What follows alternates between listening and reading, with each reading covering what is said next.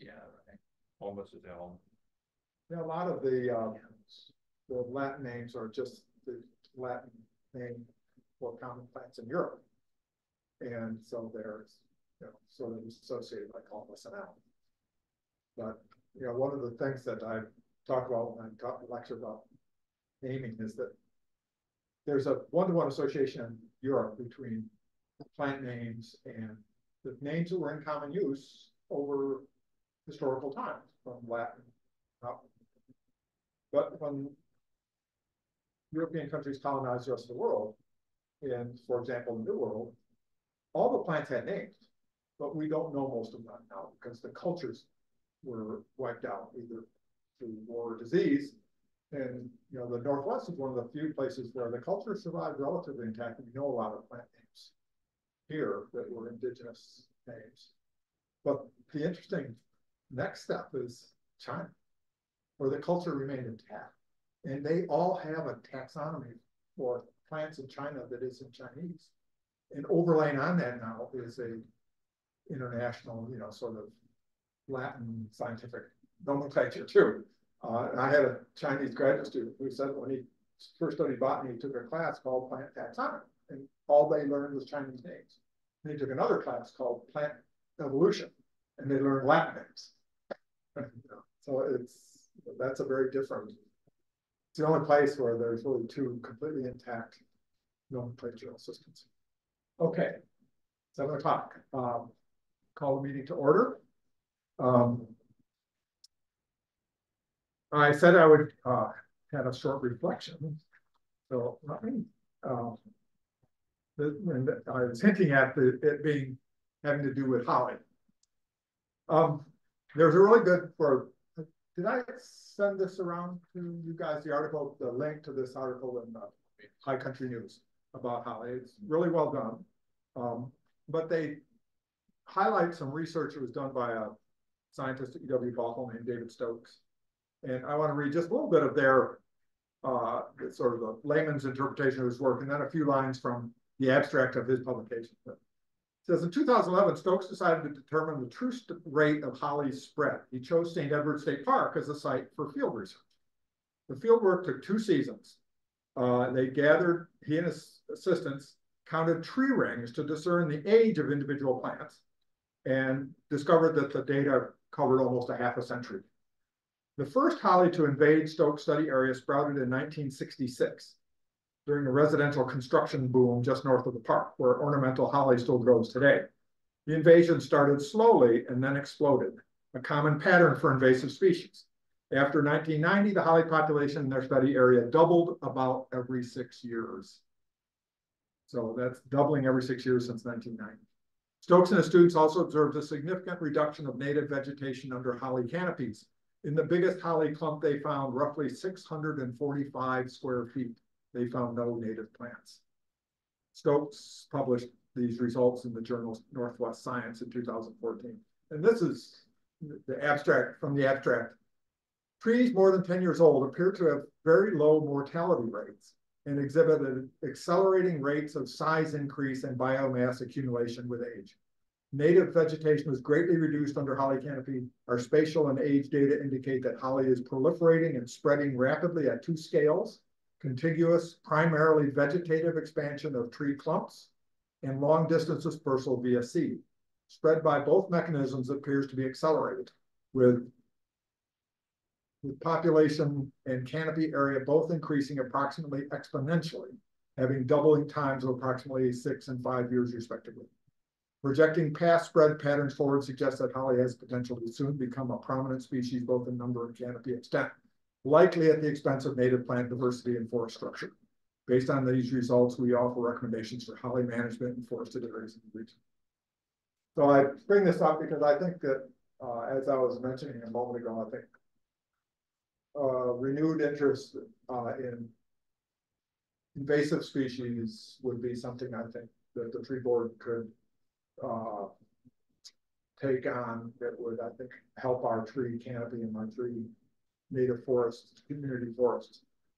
Uh, it's something we should probably continue to have as a part of our uh, program. Okay.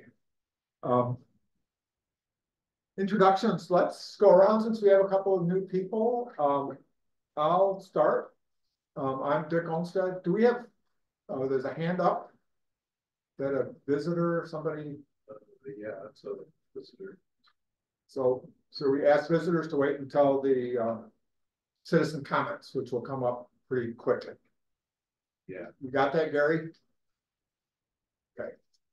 Okay. Um, Do we have any board members over there, out there? No. uh, Sandy said she wasn't gonna be able to make it, so I think we're all here. that Are able to be. Party? Marty, Marty, no, so I'll make that announcement, I guess, right now. Marty, uh, Byrne, uh, told me yesterday that she is resigning from the tree board. I asked her if she could be here tonight to sort of be acknowledged for her contribution. She said, I think I'll make it a clean break, so she's not gonna be here. So we're back to six. Uh, So, by way of introduction, I'm Dick Olmstead, I'm chair of the tree board, retired professor at UW. And let's go to our new tree board members and you could give us a little more introduction than I just gave to myself, so, so that we can get to know. you. Uh, my name is Victoria Kutas. I've been in Lake Forest Park for eight years. Um, and have spent most of that time just kind of getting settled in, establishing our home, our careers, et cetera. And I'm really excited to get back to community engagement. My background is in nonprofit management. Um, and started in community outreach and volunteer engagement. So really excited to do some of the pieces about around community engagement, community outreach and education, um, and that's kind of what brought me here. What attracted you to the tree board? Um, what was that? Our desperate need. Part of it was what opportunities are available. Um, we also last year had to unfortunately take out a legacy tree on our property. Um, that gave me a bit more insight. I've always heard, you know, every time election cycles come up or there's community conversation, the importance of our tree canopy always comes up. Um, but hadn't looked into any of like what our policies look like around it. What does it take to to actually um look at removing trees or replacing trees or things like that. So got a tiny taste of it last spring and I'm excited to learn more. The red tape helps keep our forest canopy intact. It We could, we could shred the red tape, use as fertilizer. Stacy, I'm Stacy Spain. I've been um in Lake Forest Park since twenty eighteen, November twenty eighteen. Um, I have a background, I'm actually a lawyer, non-practicing lawyer, but uh work for a large company in the office of the general counsel doing more strategy and operations work. So that's my background. Um, I became, I'm very interested in the outreach similar to Victoria and Victoria, right? um, similar to Victoria, uh, definitely getting the word out, um, about invasive species, things we can do to protect our tree canopy, which is so unique. When I first, uh, looked to move to Seattle, I was in Southern California. And one of the things you can see from sort of these satellite images, when you go to look for homes on real estate websites, is the tree canopy in the Forest Park. So it's a huge reason I moved here. Um, and why the tree board? Besides Dick sharing the details on the opportunity. um, I had to remove a ton of uh, ivy from our own property, more than I thought. Initially, I thought it was just really pretty and then realized how terrible it was. And we removed something like 6,000 tons of it. Um, it was growing all, yeah. six thousand pounds. I'm sorry, pounds, sorry, sorry, sorry, yeah, exactly. That's still a lot of value. Pounds, help me weigh it. A lot of pickups. Six thousand pounds, um, growing all up the side of our driveway in our backyard. So that was a huge learning experience and, um, just super interested in, in working with the, the tree species here. Okay. So we continue this way, Matt? Uh, Matt Twain, I'm the city clerk, please. Everybody knows that, but I think everybody does. Uh, my name is Elizabeth Silvera, I'm the assistant planner of the city of Lake Forest Park. And the person who will be main liaison. of the City staff to the, to the people. This was, was at our last tree board meeting, right? That was your first, so you're pretty new. Yeah. Hi, I'm Larry Goldman. I'm on the city council. I'm the city council liaison to the tree board. And I apologize for not being able, to at, being at the meeting to vote for you. I was giving a final exam. So I didn't arrive until about eight o'clock or so. What do you do in your day job? I teach chemistry at the U. UW. Oh, good, I didn't know. I'm Doug Sprugel. I'm a retired forest ecologist, also with UW. And I'm not religious about this thing, but my mother-in-law is staying with us and she came down with COVID two days ago. And I just tested this this afternoon, but better safe. Thank you, we appreciate it, especially me sitting. Yeah, I know, I gotta say somewhere. Well, I'm, uh, I'm Mark Phillips. Uh, I'm relatively new to the tree board too. I, I, I won't be able to say that much longer because it's been about a full year now. I guess I've been about the tree board. Uh, my background was, uh, my, my professional background was in, uh, uh, training, development, instructional design, training development. in- In various, uh, business settings. Um, and I've been interested in trees for, for a long time and worked on several projects with the city, uh, related to, uh, tree code and, the community forest management plan development, things like that, so. Mark was Larry's predecessor as our uh, council liaison, because he was on the council until a year ago or so, two years ago. Uh, John Brew, I'm with the LFP Stewardship Foundation and, uh. I think my main interest is learning how to do restoration work in our parks, around our city in general, so. Gotten to do a fair amount of that. And John was a volunteer in the project that Julia led on doing the restoration along McAleer Creek. Okay, um, thank you all. And uh, next item on the agenda is adoption of the agenda. So you all have the agenda that uh, Matt sent around. He sent a revised one around after I asked him to put the work plan, twenty twenty-four work plan on the list. Does anybody have any other changes or additions? Thanks, Rick. If not, is there a motion to adopt the, approve the agenda? Yes, I move adopted. Okay. Second? You guys can start doing your thing. Guys, all in favor of uh, approving the agenda? Thank you. Um, next is the minutes. So the minutes for our special board meeting on uh, December, November 29th. Uh, were sent along with the packet. Um. Anybody have any uh additions or corrections to the minutes? I have one sort of minor correction, but in- on the item about the board, uh, on the comments about the, the tree inventory, it says the board agreed to send their proposed changes to Mr. McLean for further discussion at a future meeting. Yep. Um. Oh, no, that was for the web, the social media. That wasn't for the, I was thinking of the stuff that we were gonna send to the watershed people. Oh, no. No, that was, right, that was, uh, A, Phil and B. all right, so that's fine, That's the way above my picture. yeah. I did have one question though, uh, it, uh, it was announced last time that there were three applicants for the tree board. Yep. Did one withdraw or not? Uh, no, she just wasn't available to be interviewed. Okay, so we may yet have, be able to return to full, Right. okay, If we- your, uh, your comment about the, uh, um, the changes to the social media and stuff. Maybe we should revisit that because our new members might yes, like to hear about something. Can we add that to the agenda belatedly? um, sure, let's put that on, uh, old business. And we can. Uh, as be under old business.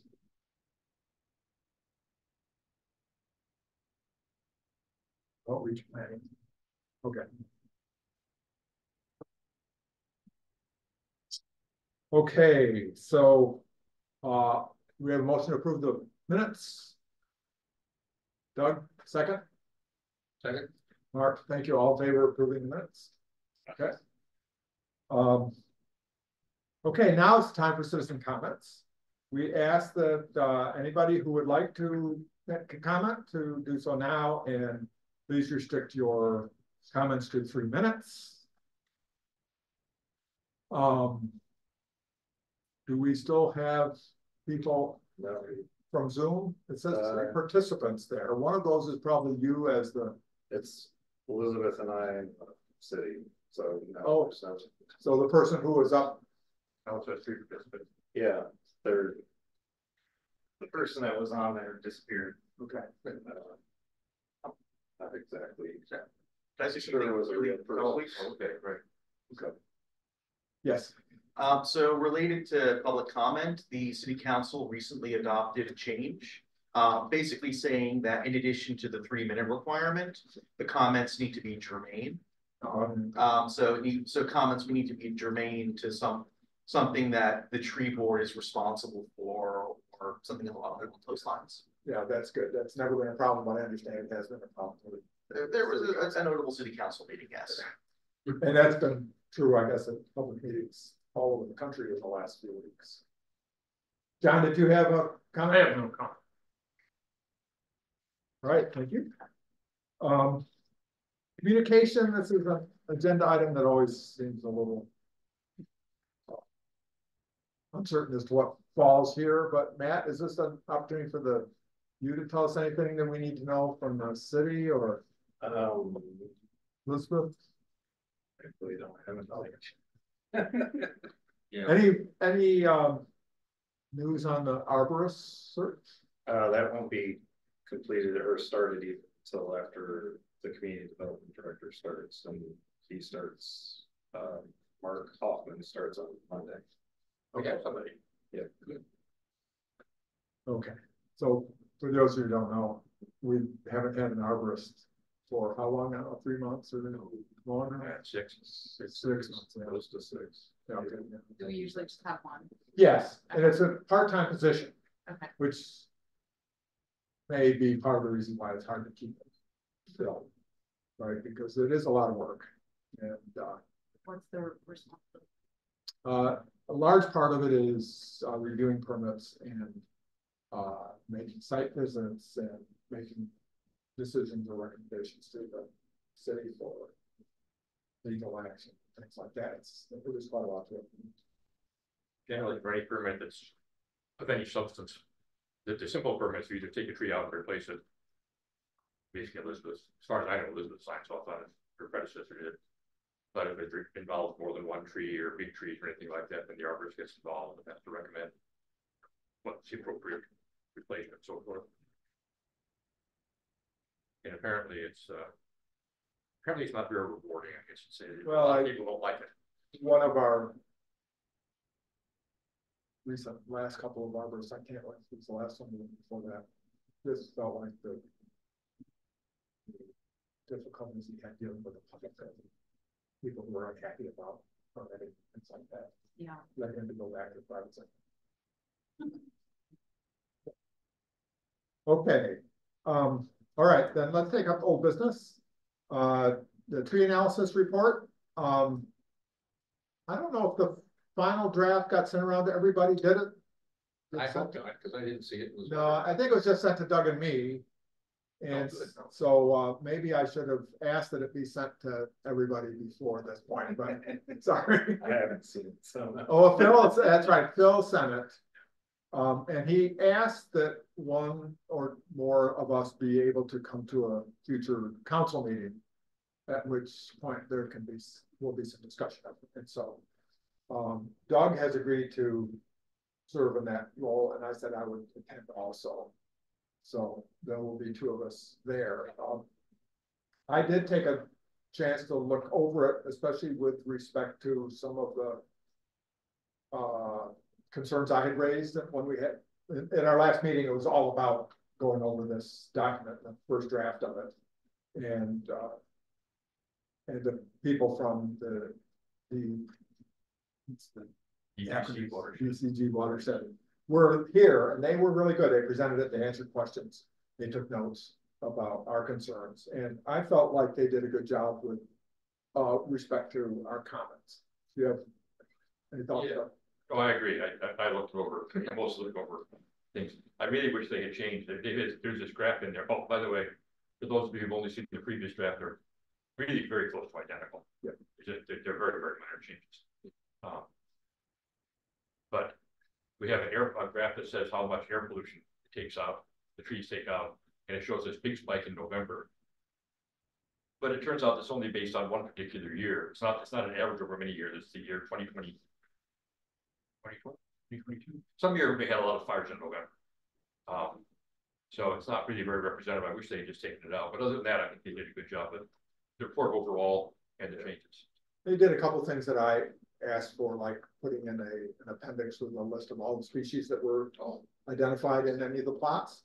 And what their percent uh cover were. Um, they included a line in the text of the document as to how many species were identified, seventy-two, I think, was what they came up with. Um, eh, with a note that there were many more, of course, that are found, you know, in low frequency that were not sampled in any of the plots. Um, what else did I see that, Well, they had a section on uh pathogens and climate, climate change and the increased uh prevalence of some sort of pathogens for certain trees. and that all was stayed the same. I'm just thinking about what. Well, I was thinking, and I had asked, and I think others were interested too, in any, any more guidance they might include Oh. in that, because they, they said that your strategy should be diversity. Yeah. And we're seeing like in that article that, that you all circulated, uh, about there are active. Active, uh, activities going on now where people are, are putting in. Assisted migration, things like that. Sequoias were particularly mentioned, and, uh, I, I, I, I imagine other trees Yeah. coming to that, category, whatever, whatever thrives in Oregon, I guess. yeah, I thought that that was a, well, come, we can come to that. Anyway, I just wondered if there was any, any movement. They did, they, um, enhanced, they expanded the section on invasive plant species, which was one of the other concerns that we raised. Um, and they, and I alerted them to that article by, uh, David Stokes, and they cited that in there. Um, and they also included a graph, uh, a bar chart of percent cover by the small lot, large lot, and town center areas, which is one of the things we asked them to do. Since that, and they compared it to what the city's targets are, which were excellent, because in both the small lots and large lots, the canopy cover is exceeds the city's targets by a small amount, so it's, you know, there's a wide amount of error given the sampling, but nonetheless, we're uh, doing well with respect to the city's goals for canopy coverage. Well, I don't know if you had more things you would. Uh, not really, I was gonna come back to the comment about that article on assisted migration. I was just wondering if it would be helpful for us to take five minutes or seven minutes, not get too deep into it, but to talk about what you, what you guys want to say or what you're expected, what, what do you think the council is expecting you to, to say with you? Is it just, here's what it is, we've looked at it, we had these questions and we think some of them have been addressed and uh, we're happy to work on this in the future, or, or do you think they're expecting recommendations? I don't know, sense? Doug, what is your sense of that? What I had in mind doing, talk about this, especially you and I probably talk about it. Um, first of all, I was gonna explain, that we had how the study was done, very, very briefly. Basically, it's kind of people going on the ground and measuring trees. As opposed to the other kind of study we do, which is done from airplanes. So we have the canopy study done from airplanes and the tree inventory done on the ground. And Just because that's likely to be confusing, particularly the brand new council members, probably the oldest too, not you, but others. Uh, I was gonna do that briefly, and then just sort of reading, to be honest, read off the front page, the front page of the, uh. Review their executive summary and say, this tells us, you know. What we have in the city. Um, it will provide us the raw data. Worked on this before, for making recommendations later on about where to set our cutoff for. Exceptional trees. And I actually have a comment about that later, but. Yeah, I haven't, I haven't looked at the raw data. But I haven't looked at the raw data I have, those. I have a little bit, I'm a brief comment on that. Um. Anyway, that was the main thing I was gonna do, and then I was just gonna throw it over for questions, so I figured maybe Yeah. ten minutes at the outside. Because there is, there is an item on the work plan that we're gonna be looking at in a few minutes, I think, that has to do with developing box or ideas coming out of that tree inventory. I think specifically it's referring to the tree inventory. For Stacy and Victoria, we, a couple of years ago, went through the city's tree ordinance and made some recommendations for changes. Um, and the council adopted most of those recommendations, but the one that they tabled was one in which we recommended the, the size of trees for greatest protection uh, be dropped a little bit, so that it would provide greater protection for a greater number of trees. Um, and to make it a little more uh, consistent across species, because the, the old document had sort of a different diameter for each different species, Douglas fir, red cedar, and so on. Um, and the council picked up on a good point, which was, gee, we don't know what proportion of trees in the city fall into tho- that, those size ranges. But the inventory will give us data that will actually say, you know, if we take the minimum tree size down from you know, forty-two inches to thirty-six inches or to thirty-two inches or something. How much, how, how many more trees will that get? And so that's one of the elements in the, the raw data of the study that will give us some. And, uh, John and Larry and I did some preliminary calculations based on the data from nineteen, yeah, nineteen, twenty ten. And, but I think we went just a little, I, my opinion, we went a little ways on that, so you know, this is really silly, we've got people out in the field. Right now, getting new data, why should we use eleven year old data? So we, we took table that. Um, So that's something that we'll. we use. So it, so it sounds like it's more of introducing this as we've come to know it, then we might have them. Right. Was it- I don't think this will be the first time that the council will see it, is it? Council's looked that out. Do you, do you want me to give the council, my council perspective? Sure. Well, that's the point I started to make, if I I was just gonna say that maybe in terms of recommendations, that's. Yeah, I- If that's something that you might work on during the course of the year, it might be good to say that it, there may well be recommendations coming out of that inventory that was done. And we intend to pursue some of those as we get into our work plan. So, yeah. so Larry, did the council adopt this plan in the meeting after we gave our feedback? and it Was edited and so on, or is that yet to be adopted? You mean the inventory Yeah. report? Um, that hasn't been, it hasn't been introduced yet. Okay, Okay. so is that something that will That's follow, uh, say Doug's presentation or uh, Doug's, uh, appearance with the council? Oh. So I, I have a, a few things to say. Um, in terms of adoption, that strikes me as more of a formality. Because we're not taking, it- like, we're not amending any code or anything like that. We're just basically hearing a report from you about it. So the more formal action would be if we're changing code. So I think what the city would, so there's, of the eight of us, seven council plus the mayor. I'm very, I'm quite familiar two council members are brand new, so they are coming in from the ground. And then the other five have the familiarity from one to two years ago, which honestly is probably gonna be somewhat rusty. So I would say, I agree with most of what you said. Uh, start out with kind of a high level, what did the inventory do? I think something you might want to address would be how much, or from the report, really not much at all, can we get comparing the two studies?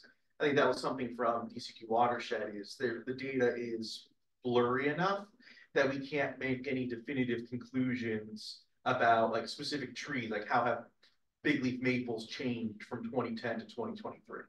And so making that clear to council, what can, what conclusions can we draw, what can't we draw? And then also making it clear that this is kind of part one. Part two is gonna be the big data, you know, the big dive into the data and making specific recommendations. But some council members might wonder, well, how come you're not proposing code changes to get it? And just explain that this is the top level report and that the tree board will be discussing. Do we want to, you know, but not, do you want to recommend changing diameters? I want to make it clear, I'm not telling, you know, I'm not trying to put my fingers on the scale in any way. So I would say that's how I would approach it. Uh, also, I wanted to address, uh, Stacy and Victoria, since you weren't here last month for the discussion. Um, which day are you coming to the council? I don't know yet. I, I, Phil asked when we could come, and I said. Either the last council meeting, second council meeting in January, or the second council meeting in February, I'm not gonna be here in the first council. meeting in Okay, February. uh, and I know that's the, and of course, he's been on vacation ever since I did that. So what I wanted to ask Victoria and Stacy in particular, um, do you feel comfortable with what the report looks like? Or would you prefer time for the two of you to kind of look over the report? Um, You before guys the probably haven't even seen it, yeah, right? I haven't seen the Yeah. report, but I did watch the YouTube video of the board meeting Oh. where they presented. Okay, good, well, that's great. So I have some concept of what you're talking. About. For a little about. background, Yeah. um, the city mandates that every ten years on I energy. don't, I don't think so, I think the only, the city only mandates the, The uh, canopy, the canopy coverage, I could, I could, I could be wrong about that. I, I know it mandates the canopy coverage. yeah, I thought that inventory was mandated also, but anyway, the- about, Well, it in might- two thousand ten, an inventory that was done, and so the plan was to do another one ten years later. Mhm. That got pushed back a little bit because of the pandemic and other things, so it was just completed this last year. And uh, the first one was done mostly by volunteer labor, and a hundred plots were selected around the city. Um, some on large lots, some on small lots, because there are different management regulations for trees on large and small lots. And then some in the town center area, which is sort of the only commercial district. Were they all public ones?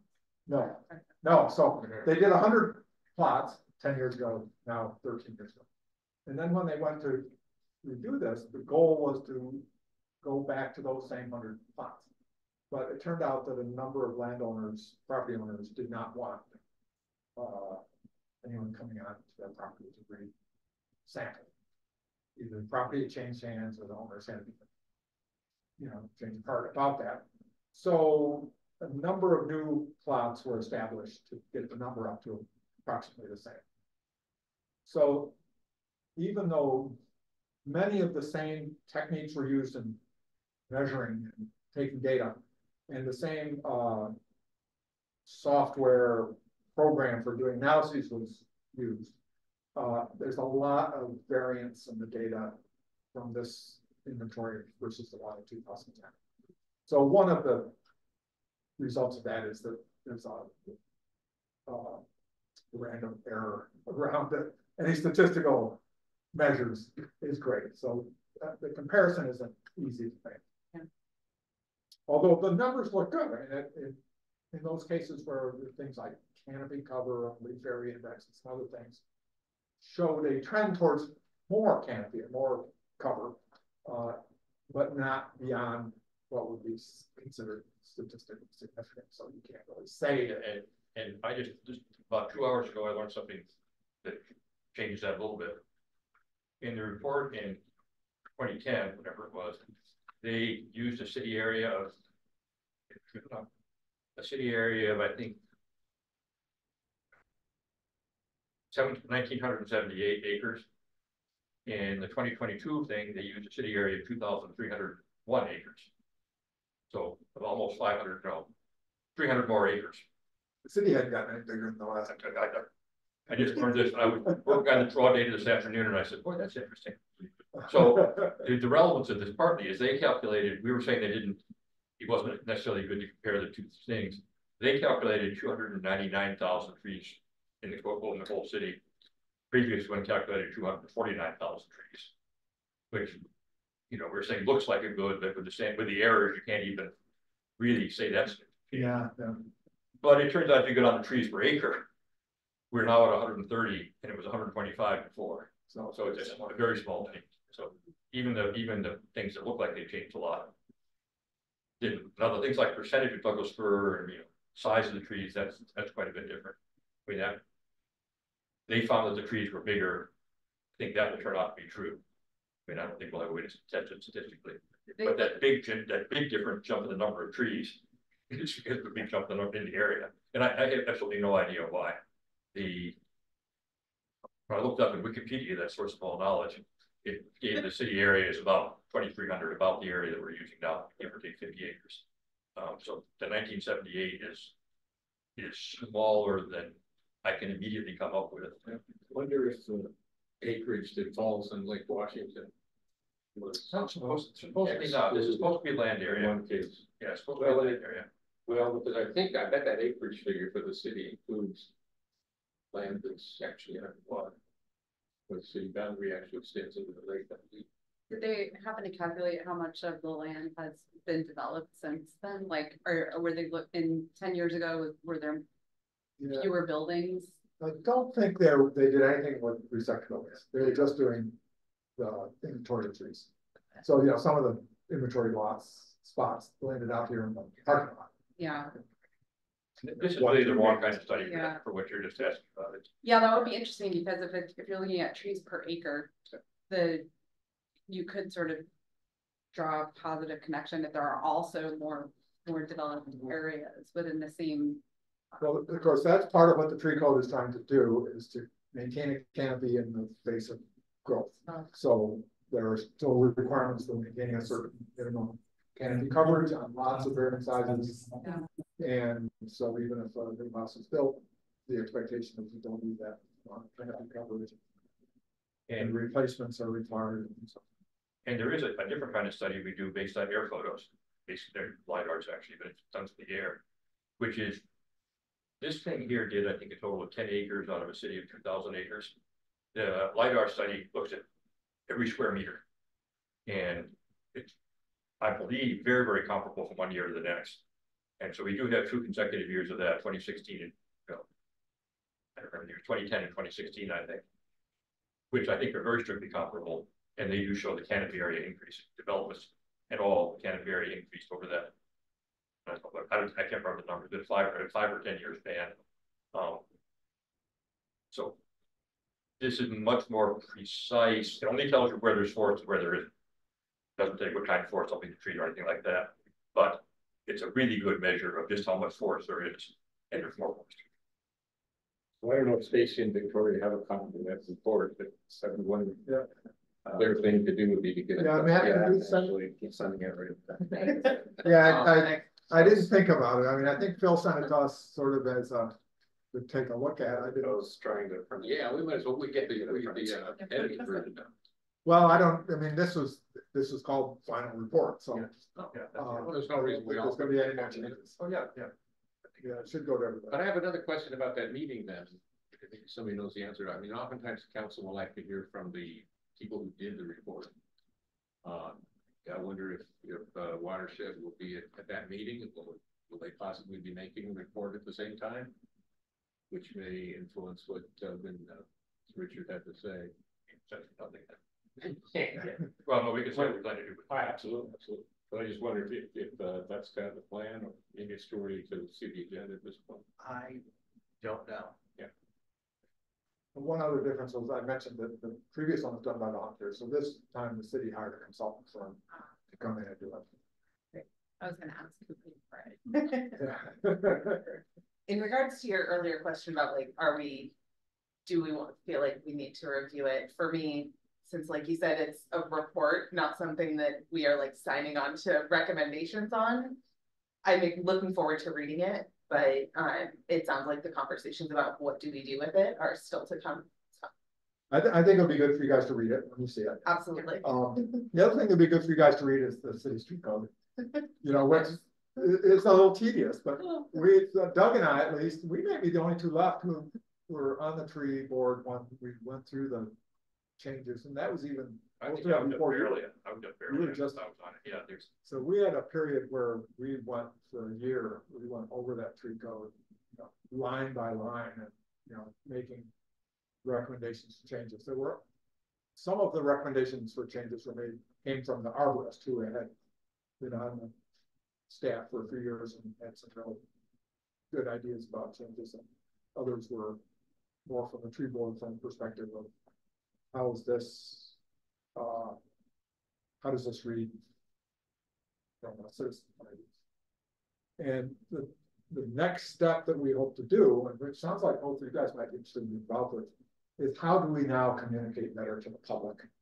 What the tree ordinance is all about, what the the, the reason for it is why, as homeowners, people should embrace this and not fight it, and that's, you know, something that we want to move forward to, that's the next item on next item. the agenda. Anything else about the, the tree report? Just, just very quickly, um, I just, I just looked at it this afternoon, not, not the report, like the report there, but the raw data. And I'm having a little difficulty getting exactly the same numbers as they put in, in their report. I think it's just a matter of one of us is using different numbers or something. But I've written to them and asked them if they can figure out what I'm doing wrong, basically. So. There may be a little bit of a delay before we actually do anything, but it's, it's, it's not a huge difference. I come up with two hundred eighty-eight thousand trees in the city and they come up with two hundred ninety-nine thousand. No. And. Yeah. So, Doug's a forest ecologist. but, Yeah. you know, And but so I mean, I- and I think, he's really, uh, understands this, all this approach, both the methods and the data better than the rest of us. but, yeah, I think quite possibly related to the fact that the city somehow grew three hundred acres. Yeah.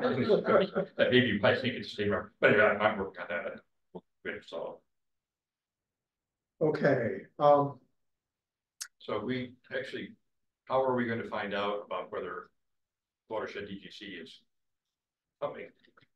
Uh, we can check on that in the future, whenever we, whenever you are available, we'll make something happen.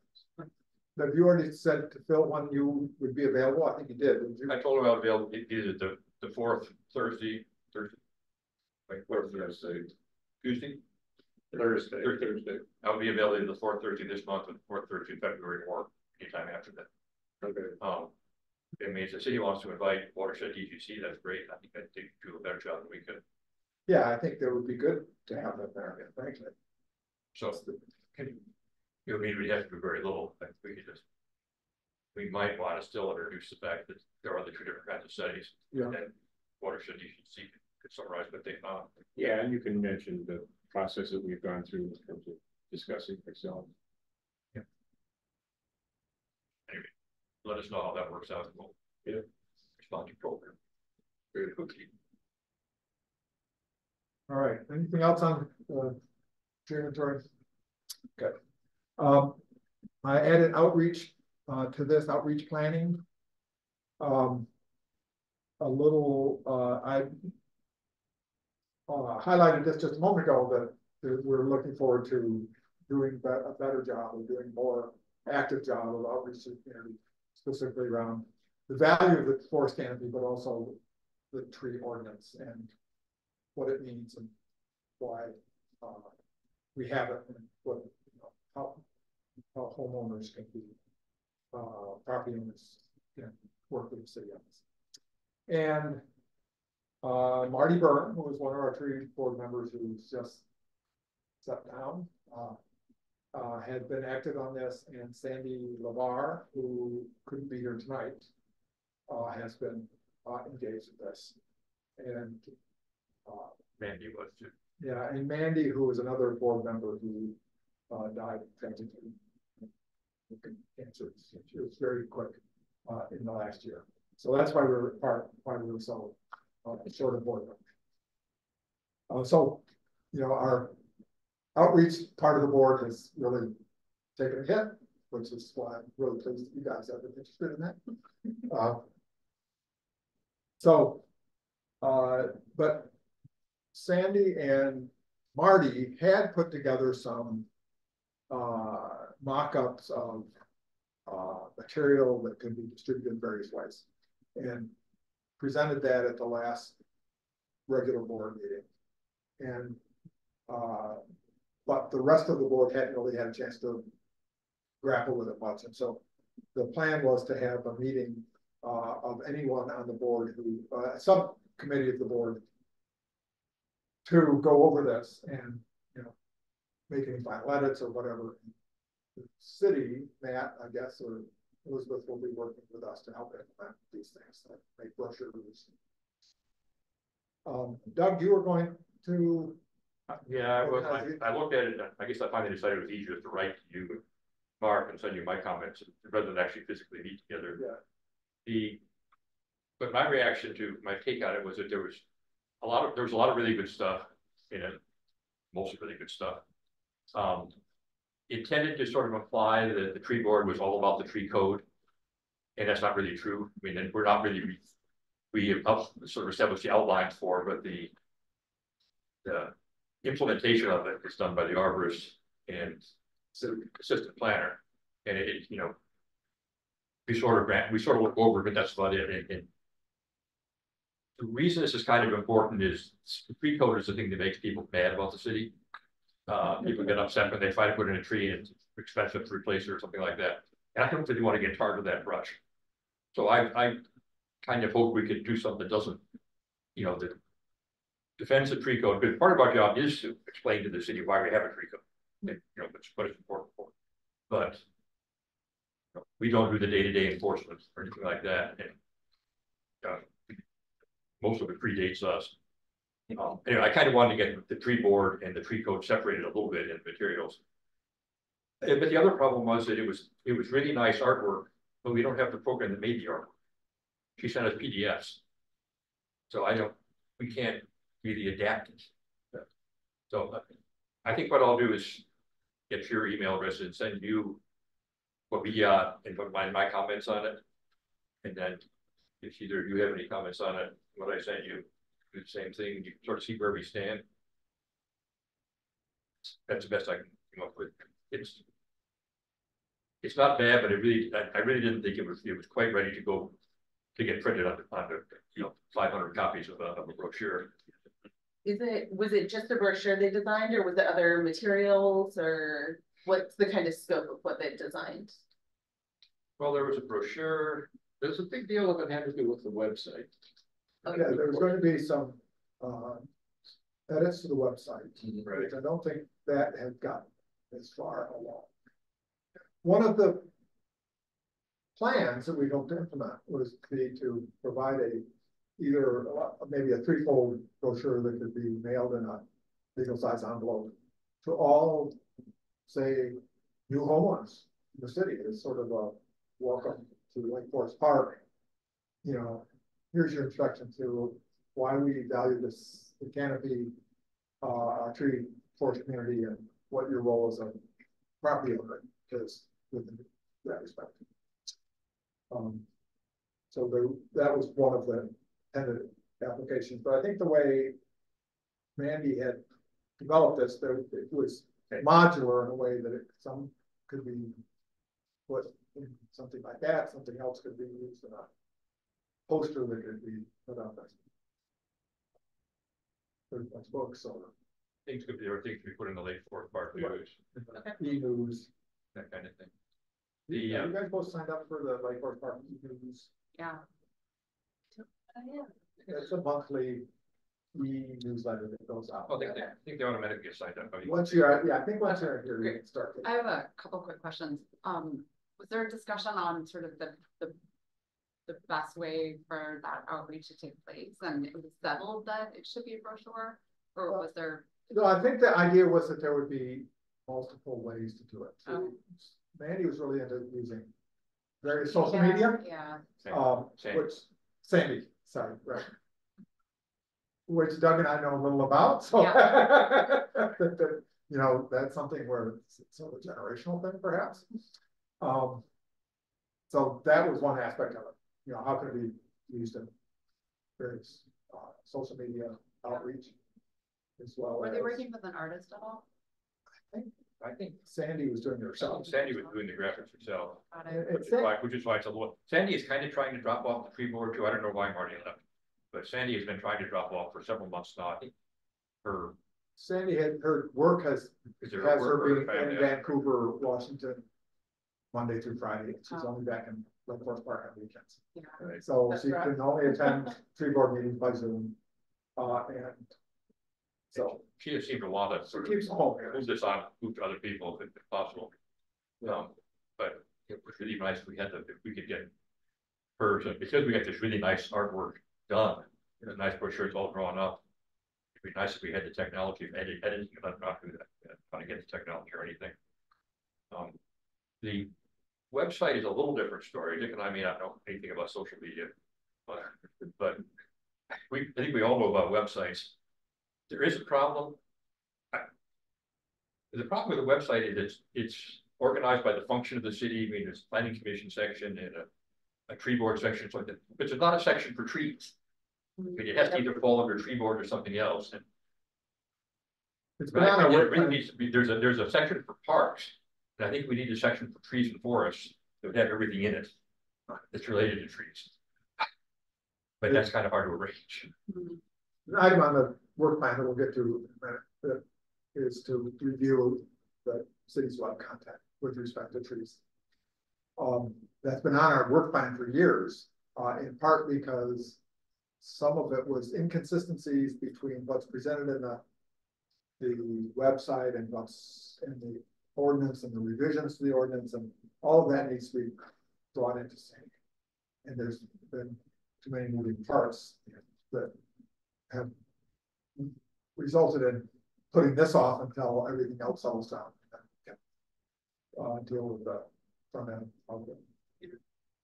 Is there something that makes you guys feel like the tree board is, has like a, a marketing problem? That, that they're an enforcer rather than an educator? No, I don't, and not Yeah. for me. Not I really, I think- think of just this particular set of artwork or participation. Sort of really made it sound like our main thing was, was enforcing the tree code. Mm, Yeah, I don't, I don't think the tree board is our problem. Okay, And I don't think the public, for the most part, feels that. okay, We did a really interesting thing, I think, two years ago now, maybe it was three, where we had a booth at the farmer's market one day. It was really nice. And the arborist came and spent the whole day. I was there the whole day, the arborist was there the whole day, and then some other tree board members came and went. yeah, And um the arborist was accosted several times by sort of unhappy homeowners who felt like they had to do things that they didn't want to do to trees. And she was very good about handling. yeah, But it's the sort of thing that led to her replacement not being an arborist in the city for very long because he just couldn't handle it. yeah. Those things happen. And then the next one. too. Yeah, I guess. I don't remember what she, why she left, but I, I don't think I know. In any event, um, we've had events like that. We do something with the, uh, the Spring Green Fair, which is held here in the town center where we have a table and, you know, interact with the public. So those sorts of things are usually really good. Yeah, Yeah. Um, Yeah, I, I look forward to seeing what's already been created. My questions are always around. Who are we trying to talk to? Who's our audience and what's our goal? So is it about making sure people know what the tree board does? Or is it about making sure that people know more about the tree code? Or is it both? Or is it something else? So like figuring out like what is the actual message to get across? Uh, cause I feel often it gets muddled and when you try to communicate everything in every method, it, it gets hard to consume. So I look forward to seeing what's been created and, um, I do a lot of that in my day job. I think there's our big need to take the work that's been done with, with Sandy, to degree that she's still on the case. Uh, to, uh, pull some threads through it like that and figure out where to keep that, what are, what are the key vehicles, I think. For me, it's one of the key vehicles? And there's, a- it's a finite number of things that we need materials for. Yeah. Even if you include some social media, and website, and brochure, and mailing, and. And, uh, maybe weekly or quarter, or monthly or quarterly articles in the city's newsletter. It's kind of a finite number of things, and I, the- Find the work that Sandy's done is pretty, pretty voluminous, and I have trouble kind of figuring out what are the, how to, how to make that, those ideas and the language that she's crafted. Fit the specific needs that we have. Yeah. And the other point, I, I, from my point of view, I think the tree board, people need to know about the tree board, if there is one, but really the, the emphasis, I think, is, is communicating information about trees and about how the city, uh, you know, works with trees. and Yeah. Trees. That- That's what I was gonna say too, It- it's really more, I mean, it's kind of a big deal that we have fifty percent forest cover, Seattle has twenty percent. Absolutely. We're, we're the, we're incredible, it's, kind of a big deal that our forest cover grew by five percent over the period it was. yeah, Uh, Seattle's tree cover over the same period dropped. Tiny fraction per percent, but it, it dropped, Yeah, you know, there were big articles in the paper, tree cover drops in Seattle, you know, we didn't get any papers, articles for a five percent increase. And I appreciate the point you made earlier of figuring out how to do that without making the tree board synonymous with the tree code. And figuring out how to talk about the holistic work that this group gets to do. And educating homeowners, like you said, especially new folks to the area. On the technicalities piece, and that they're, they're related, but they're not the same and probably require different methods of communication and mechanisms for communication. We started a few years ago doing occasional, uh. Pieces in the evening news. And the idea was that they would be educational. And so I did a few, the very first year I did um three and then I sort of. Ran out of gas or something, but then, but others have done, it. so there was one nice one about, you know, uh, Christmas trees. That was done last year or the year before at Christmas time, about, you know, what. Uh, whether to use living or, or artificial trees and how to dispose of tree and things like that. Um, so I, I think that that's the sort of, uh, you know, these would be no more than, you know, four hundred words in one photo or something like that. Yeah. Uh, but the one problem with that is that E-News doesn't go to very many people. It's a pretty small proportion of the city that is actually signed up for it. So trying to figure out a way to reach more people.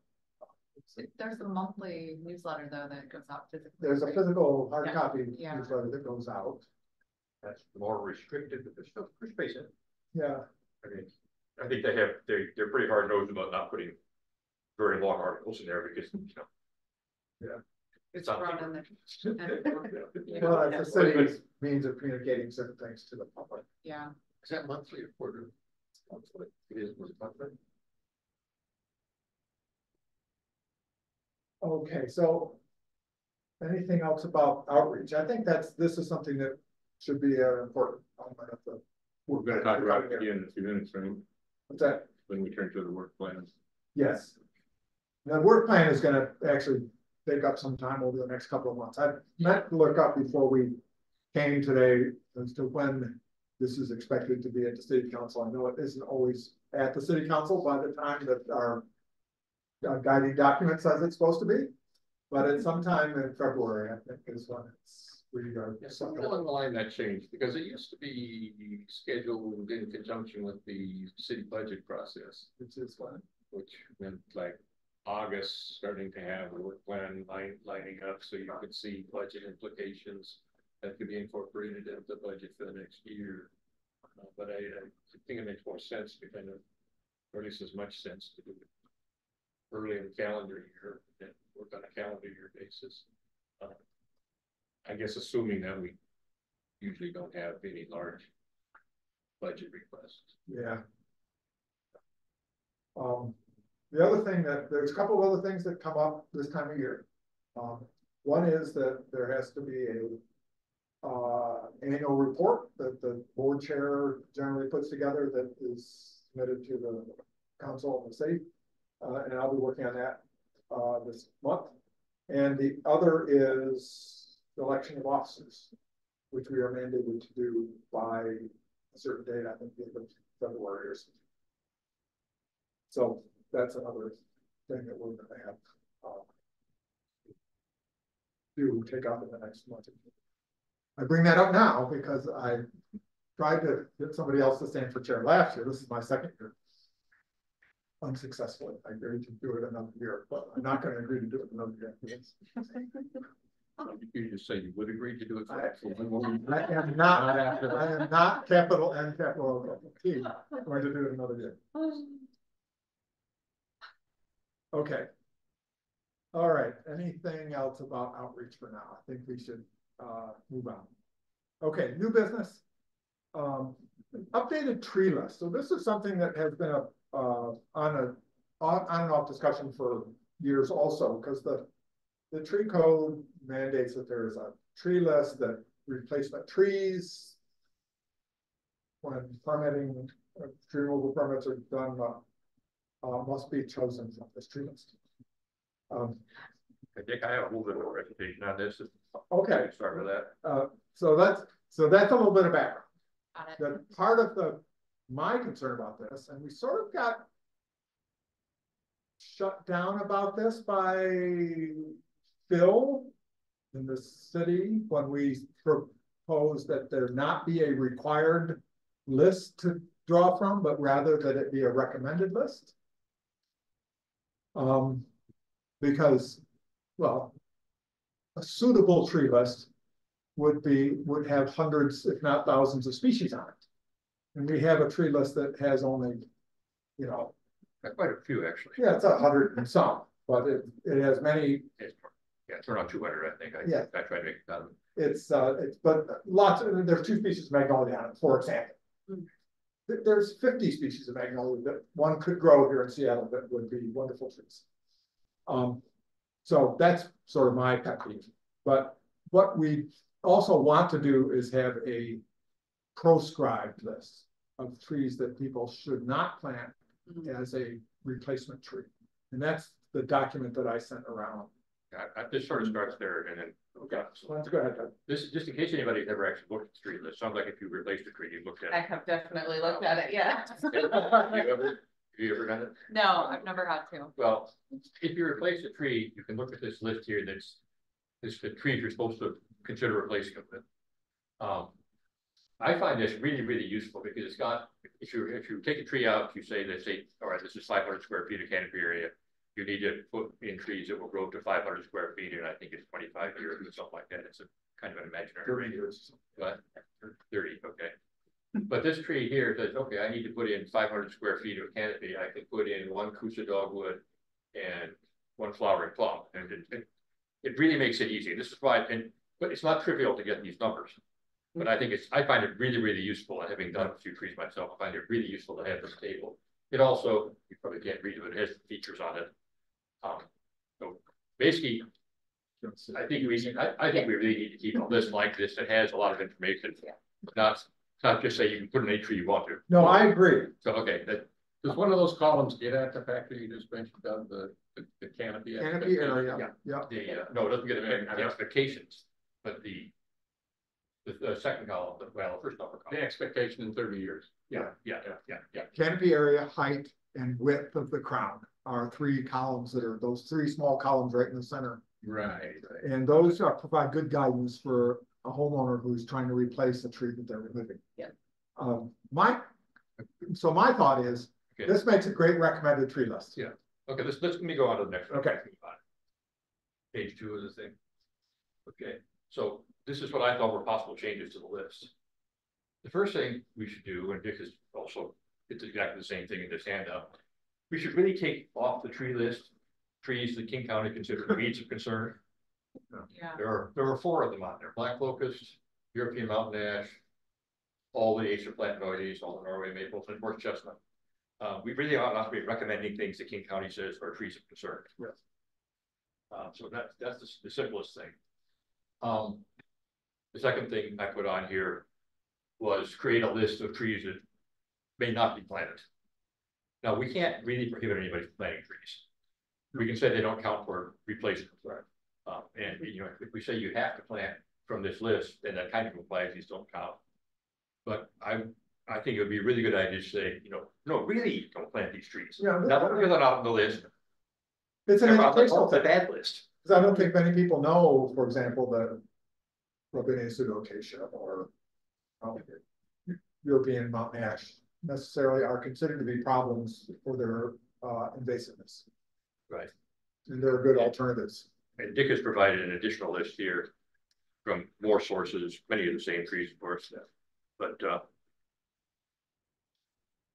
The other, the third step here, though, about four years ago, Tim Hone, who was the previous, not the previous, several, several previous chairs of the, uh, tree board ago, who was, I think, he was like a landscape, uh, horticulture professor at, at Shoreline or something. Edmonds. Edmonds, okay.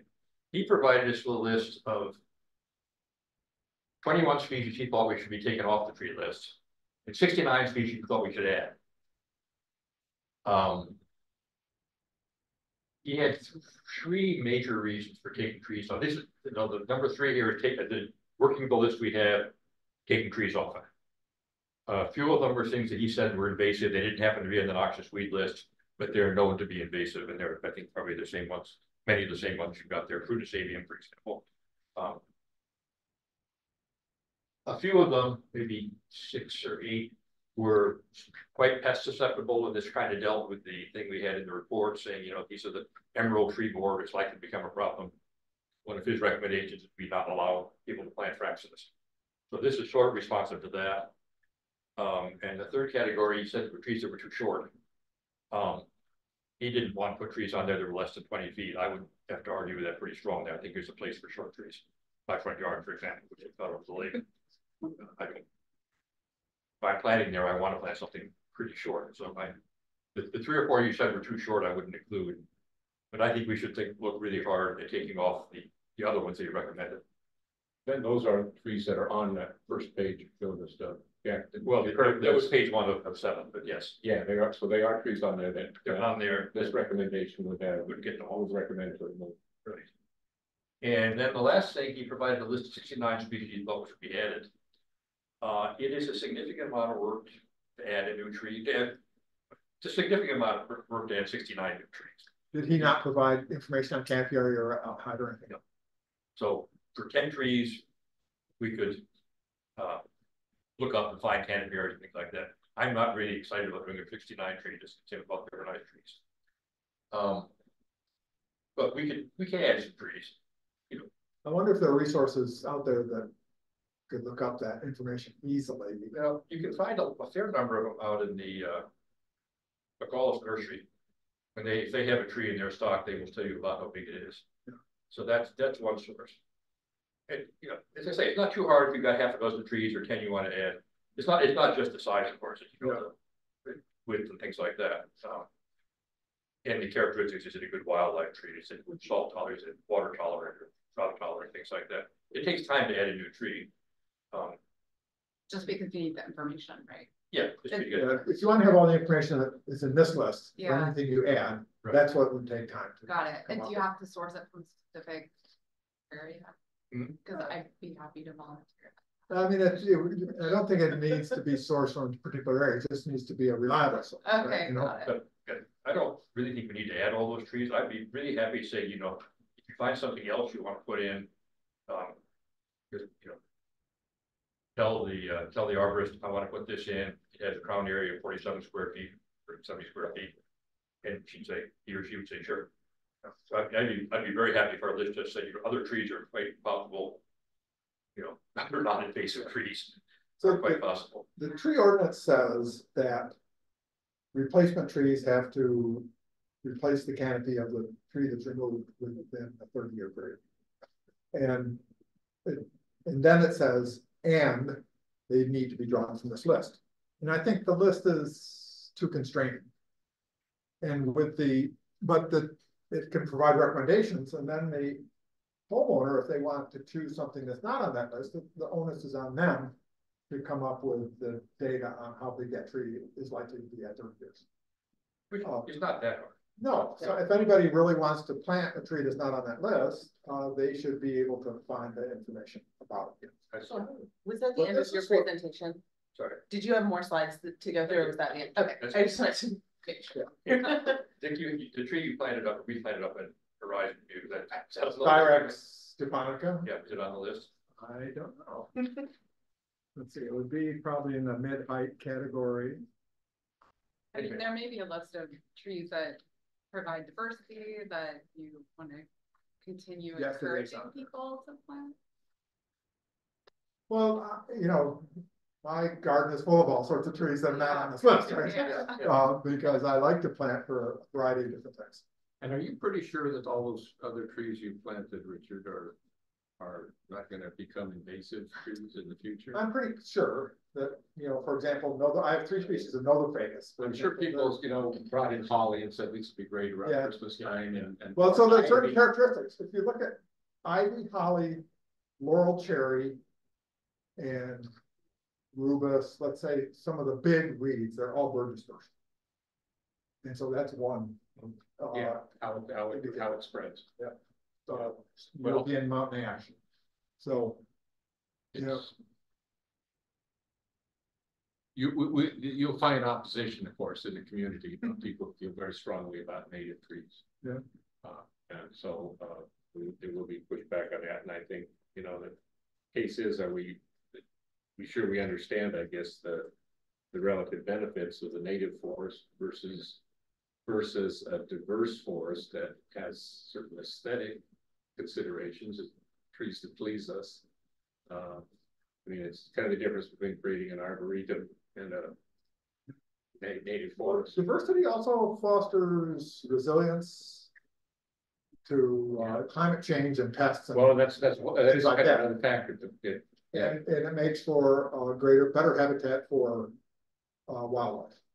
You know, this John Marzluff is a professor of forest uh, resources that studies bird diversity in, in our area. Has shown very nicely that you get much greater bird diversity in uh, say suburban habitats where there's a lot of diversity of plants and gardens. Because there's so much more habitat and food sources, things like that, than you find in similar habitats that are just native plants. uh, good to, know and understand. Uh, we, the, the old saw that I've been raised with is that, you know, that the, the, the creatures that inhabit those trees have evolved over time with the trees and, uh, and, uh, there's a coexistence that's evolved in terms of, uh, the, you know, insects and mammals and amphibians and everybody who lives in the forest. So I, you know, I don't know, I'm certainly, uh, It's true, but you know, our, our native lowland Puget forests are remarkably undiverse in terms of Mhm. plant species and animal species. Um, and it's because we have stable environments with, uh, moderate mesic habitats that in those ecosystems uh, tend to have small number of species that dominate. You go east of the Cascades, where you get much more habitat heterogeneity, you have many more species of animals and plants. Um, than you have on this side of the Cascades. Well, a little bit, changes the subject a little bit, but on the, on the same topic, it seems, does seem kind of arbitrary to me that we sitting around the table with. Like, like Tim did apparently, uh, looked at uh, trees that you thought were, that would, would be great to have on the list. Uh, this is kind of an arbitrary, very quality to that, I mean. Make the case that we paid attention to trees, and that's why we're on the tree board, and several of us have made a career of trees, so. Um, maybe we're in a unique position to, to do that, but, uh, Well, I think part of there are alternatives to that, right? I mean, I don't think it's. I'm a big fan of natives. I mean, my garden has, has a matrix of native plants. It's sort of like the arboretum, which has a matrix of native species in which a collection of non-native species uh, thrive. Um, and the tree list is not all natives. In fact, there's one page of natives, I think, on the back or something that, but most of it is not natives. Aren't the, aren't the natives highlighted though? Or maybe they are highlighted, that's how, they- or they're asterisks, they have asterisks and they are in bold. Yeah, so it's, Code recommends preference for natives. Yes. Yeah. and that, and conifers to replace conifers. If they are evergreens to replace, something like that, and so it's. Uh, you know, one of the concerns that had been expressed was that people are gonna remove Douglas firs and plant Japanese maple.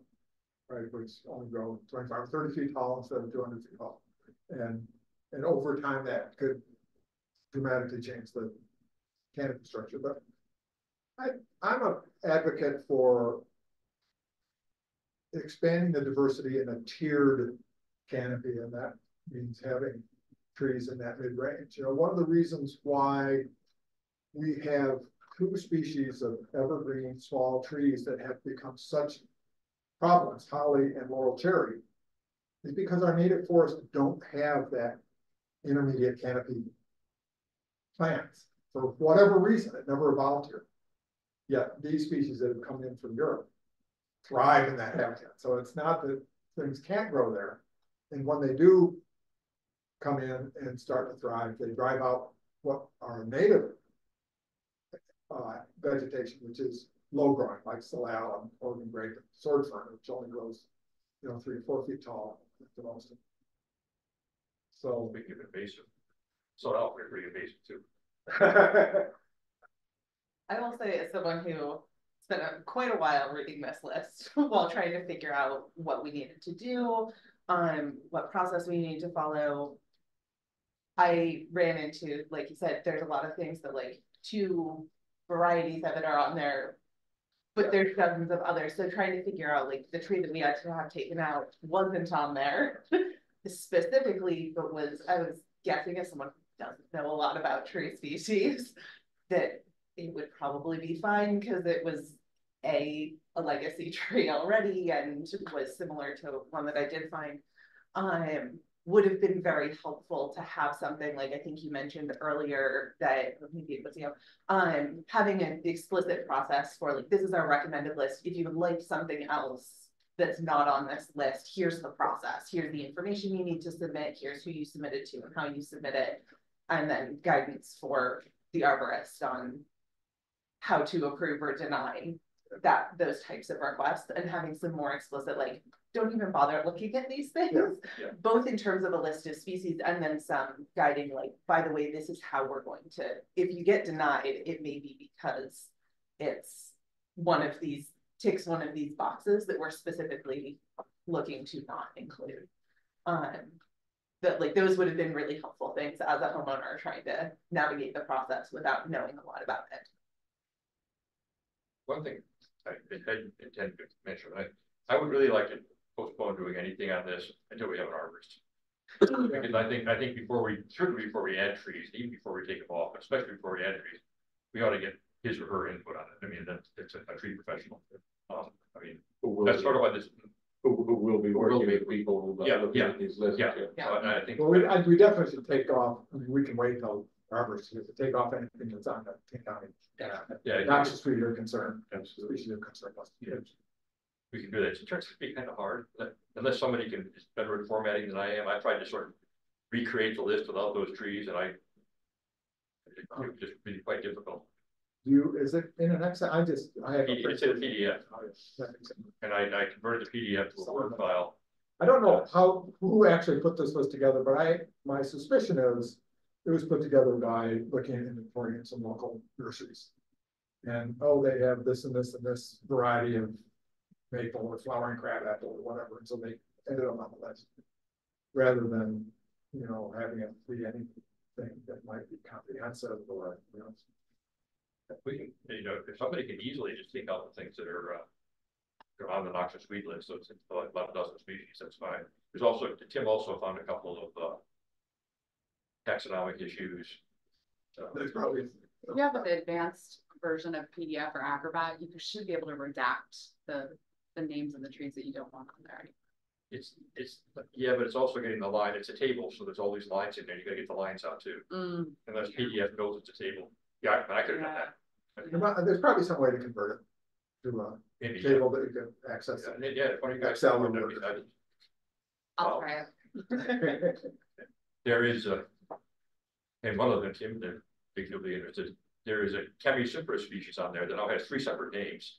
Uh, Lost, Lawsoniana, Port Orford cedar, cedar, could be Cupressus, Chamaecyparis, or uh. Callitropsis, No, that's not, Callitropsis is only the Alaska yellow cedar. Alaska yellow, okay, Alaska yellow cedar that has three separate names. Yes. Cupressus, Chamaecyparis, and You know, I'm not sure how much we need to mess with altering the table ourselves. I mean, I, I, I, that's a coun- council's gonna make a decision about that. It won't be our decision to make ultimately. It'll be a recommendation. that we make. I don't think it's a council issue necessarily. I'm not sure, but I don't think. They would have to approve it, but I think they are looking for a recommendation or advice from us. Right. right? I can see this going two different ways. One, and that's kind of how I've heard the conversation so far, is a fairly descriptive list. These species should be added, these species should be removed. A second approach would be more delegating to staff to say, these are the principles. If it's on the King County noxious list, it's out. If it's native, it's in if it's becoming native, it's, you know, coming up with some core principles. And then delegating it to staff to then implement it and say, okay, up to the city arborist. The city wants these types of trees on the list.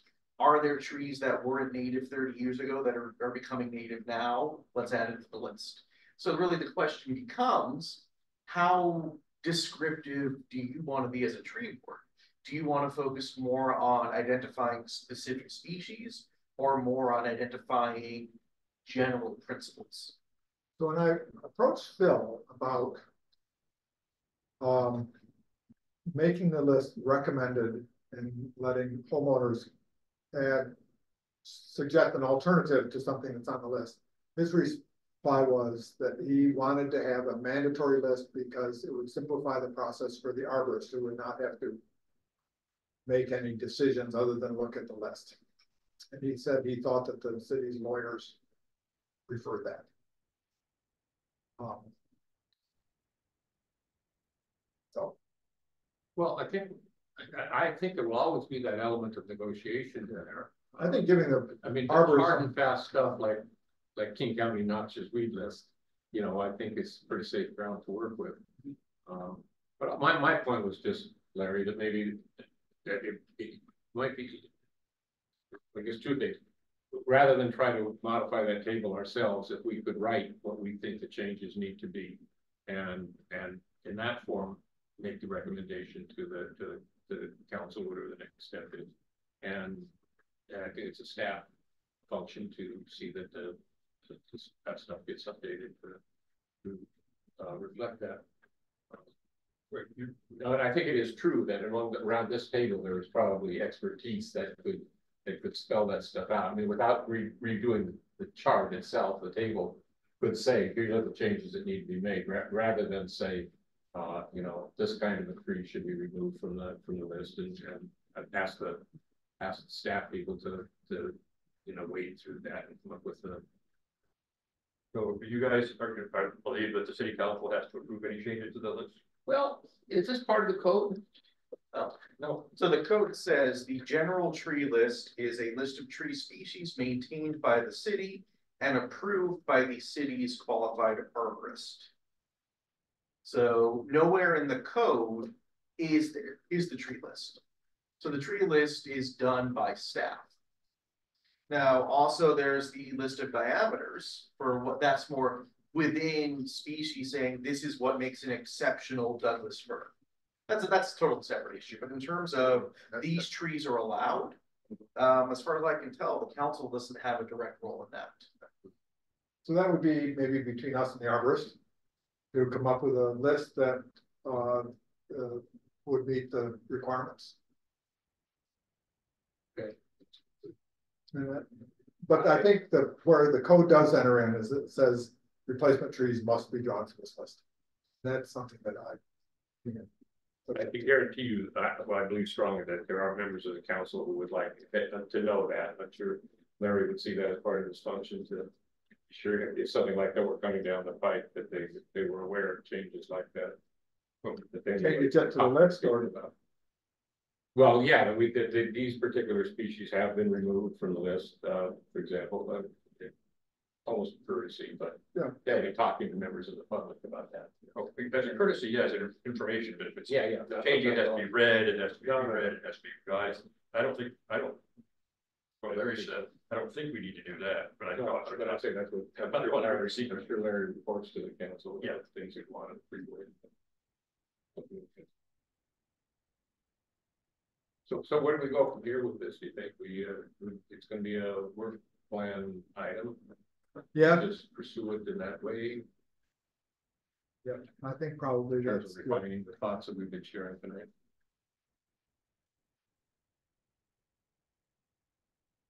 Um, one item that I thought that came to mind when I read the article that I sent the link around, or Matt sent the link around about assisted migration that was in, um, the Seattle Times. I, I don't know how many of you had a chance to read that, but I thought it was really well done because it was fairly even-handed in terms of talking about the different approaches to assisted migration and whether, you know, there's debate about whether it's appropriate uh, whether species migration or population migration, which they talked about being different things. Species migration would be planting redwoods, which only occur in California, in Washington.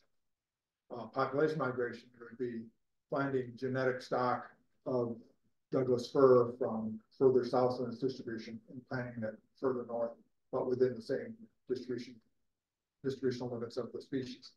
Um, those are all valid concerns, and I know that there's that pertains to this list if we want to try to uh, either in some way. Identify species that might be or. Resilient to climate change or something that might be a lot of work to try to do, but it might be something that homeowners would like to see. That could be a separate issue. Well, that's not actually, the list actually includes a check mark for drought resistance. Yeah, right, And that's, that's probably the most important thing. Yeah. And I want a couple of ones that, uh, Dick wanted to take off are things like Sitka spruce, and he said, you know. Are really borderline anyway, and they're not gonna get any less borderline in this climate. yeah, Uh, like there's a few others that he said, you know, are really. Poorly adapted to this climate, and generally, those are only gonna get less well adapted. So we do have that one column that does sort of say this is probably a little more resistant to climate change in many sites. We're, we're partway there. the, uh, my one. Hesitation about that article was the fact that they, in the illustrations and in the text, they both, they cite. Giant sequoias and redwoods as examples of, and, you know, we should, in my opinion. We should not be encouraging anybody in Lake Forest Park to plant either of those trees, because they're just too big for residential. Uh, landscaping. But. And, The ones I see, Richard seems to be doing well, actually. The They do well. they do well, Yeah, but and a hundred years from now, they're gonna overtake neighboring homes and whatever else, and they're not gonna be, and they're they're gonna say, what am I doing here? Right, you know, they- just get too big. Well, I hear, I, I understand your sentiment. I'm not sure I would agree with that that would be a disqualification myself. Well, you know, we had a, a- a case just a couple of years ago of a tree removal somewhere up on the south side of the city in a residential neighborhood of a giant sequoia, and the neighbors were really upset, but it was breaking up the sidewalk, it was damaging, risk of damaging the foundation of the house that it was going next to. It was a small lot and had a tree that was way over. And then one that was also a problem up near the Sheridan Market on that slope below you know, five twenty-two this year, it was such a hoo-ha-ha about a, a lot where it was gonna be developed and they wanted to remove some trees.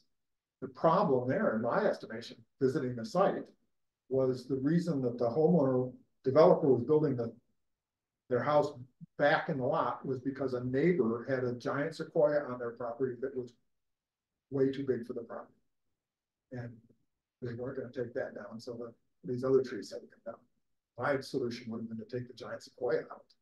But, you know, that's not popular. One of the things about the whole assisted migration thing is that. If you look at that list of recommended trees. With a very small exception, number of exceptions, anytime you plant any of them, it's assisted migration. Yeah. Um, assisted migration, I mean, it's, it's, it's a forest natural ecosystem, it's not a yard thing. Yeah. Everything you plant in a yard, with very rare exceptions, assisted migration. Um, And, and when they're and talking we, about, and we already have sequoias all over, the place, Yeah. a few redwoods too. Yeah, I think that the, the discussion about establishing sequoia. The giant redwood, not the, the giant sequoia, the Sierra, is to try to establish groves that could be in the long term successful. So they would be out on the Peninsula, places like that, they wouldn't be here. Planting occasional one here and there is not gonna save the species. Okay, anything else about this? I think that this should be uh a work plan item and that. We should come up with recommendations for the city and see that it's not gonna be as six I hope. Well, it seems like that work that uh, Doug did, that Yeah. was sharing with us. I think it's my good flash drive I'd start to that. Can you send that, your list of recommendations around, Doug? Yeah, I think you're here. Yeah. Oh, well, I'll send Tim's list, actually, that'll be simpler. Okay. Tim's list, it's a very nice order, because with the same order as the, uh. Is there on the tree codes, you can just go on the tree code one by one and Tim this would take this one out. Well, that page two that you, that you showed, Yeah, yeah. that summary, Yes, that's everything. Here's a fun fact, assuming this data is trustworthy. Well, Wikipedia says there's roughly eighty thousand giant sequoia in the world left. And the tree inventory says there's one thousand eleven of giant sequoia in Lake Forest Park. So apparently Lake Forest, uh, if the data is accurate, Lake Forest Park has about one and a quarter percent of the world's giant sequoia. I doubt that we have anywhere near that many in Lake Forest Park. In the inventory. Uh, It's that- in that's, appendix five. that's where small sample sizes, you know, bias the estimates when you multiply it out to When the. you walk around and you pay attention to them, you. it's Yeah, there's, our neighbors have two in their yard. Greg, Because they're, they're, outgrowing everything around them. that- they're, they're, re- they're easy to identify in one way because of their. What believe it, I believe so. There's also not a thousand Sitka spruce. But this is, if you remember when we were looking at the report, you and I are both concerned about the fact that red, red alder had gone from twelve percent to two percent, and I looked at the raw data, I guess two percent. Yeah. They just didn't have, this time around, they didn't have to, they, there's a lot of red alder, so yeah. That's a relatively common species compared to giant sequoia, um, the, the error on any species is not very common. It's Huge. And if you know, and particularly if it's something that people like to plant, that, you know, somebody says, oh, I'm gonna plant six European bird cherries in my yard, all of a sudden we have forty thousand European bird cherries in Lake Forest. If that, if that got hit. in that got hit by the plot, right, so it's, it's. That survey is useful for some things, but. It's just because, it's it's because the city is so variable. It just, it's just, it's a statistician's nightmare to try to look at the vegetation of the city. Yeah, unless they have a lot more plots. Yeah. Or a lot more uniformity in the landscape. Uniformity, right, but, and we don't particularly- get. and that's why, that's why they oversample samples more of the small plots, because yards, which are, you know. Non-forested yards are just all different. Imagine if they sampled Vicksburg. Right. Yeah, much more interesting. I mean, you take your yard, it's mostly basically forested, Yeah, so half of our, we have an acre, half of it is just second growth forest. It's mostly Douglas fir, big leaf maple, alder. Yeah. Uh, western red cedar. and there's, and there's a lot of lots like that, and they're all gonna be pretty similar. But the yards like mine, where somebody said, oh, I think I'll plant, somebody twenty years ago said, I wanna plant a katsura here, and somebody five years ago said, I'm gonna plant a Japanese maple here, and somebody two years ago said, I'm gonna put a, you know, a red maple or a vine maple in the backyard. And then my neighbor, whenever she took out a tree, didn't replace it, so. It, it's, it's, it's a huge variation, lot to lot, we just, I, all that rare stuff is just. Yeah, it just, it just. Needs to be considered intelligently. Yeah. Or read intelligently. Okay.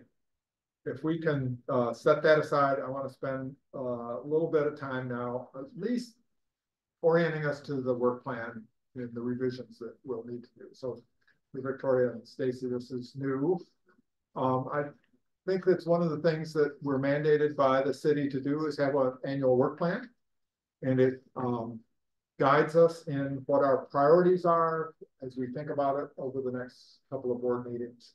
And uh, gives the city some idea about what our priorities are. Um, what I've found in the years I've been on the board is that, you know, it's a lot of good intentions and some of them get carried through. And it's, a lot of it is, depends on, you know, who has the interest to work on something and make it happen. What are the uh, highlighted items? I wasn't sure of that. Um, on the packet. You know, I think those were things that uh we had.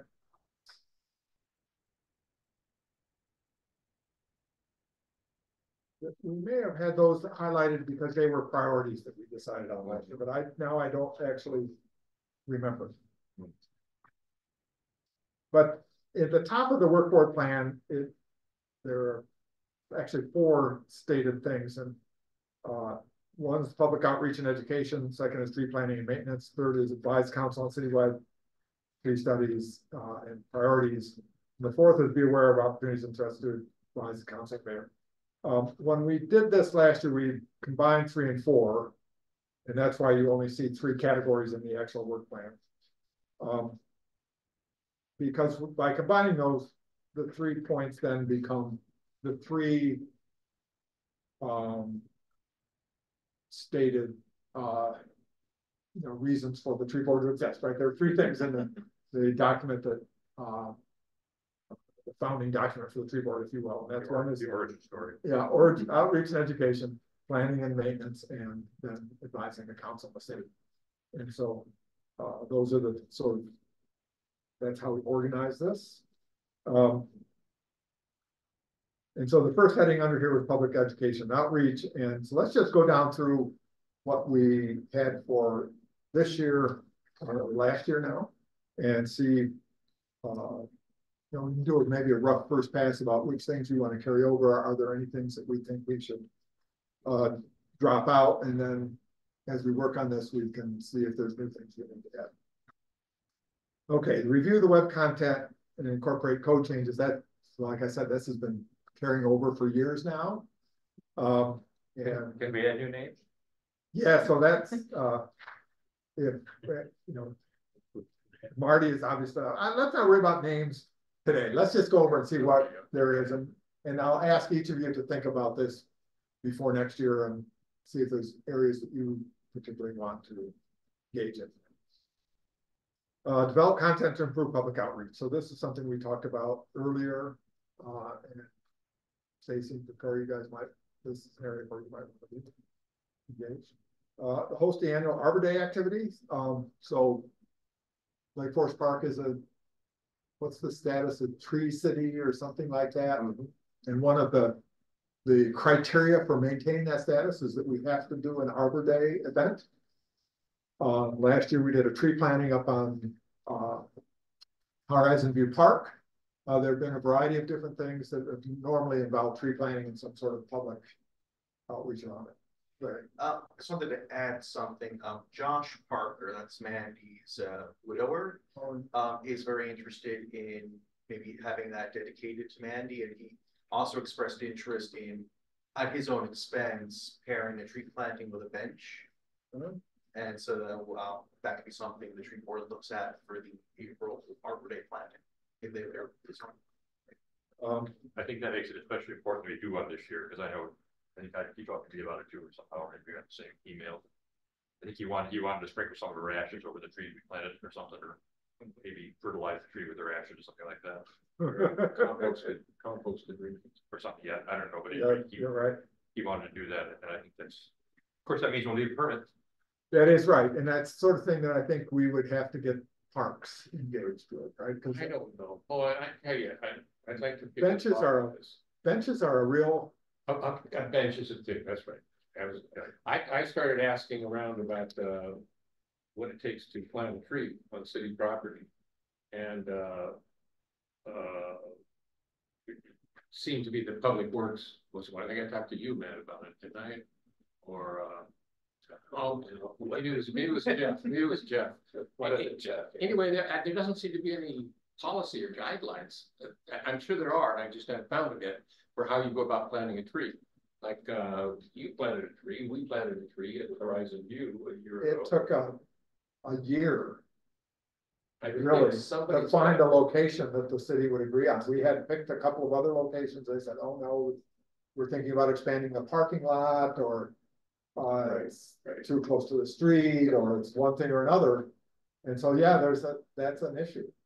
Um, one thing, there's a, I have a couple things in mind. We don't need to get into Okay. Arbor Day planning yet today, but there were some trees that Tim Hahn and arranged to plant up on the south side of the uh, reservoir. Yeah, Three trees at each corner Yeah. of those trees.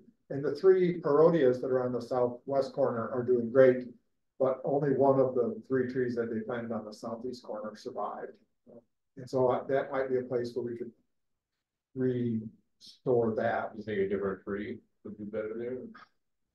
Hard to know. It might be nice to try to get two more of the same one that's there.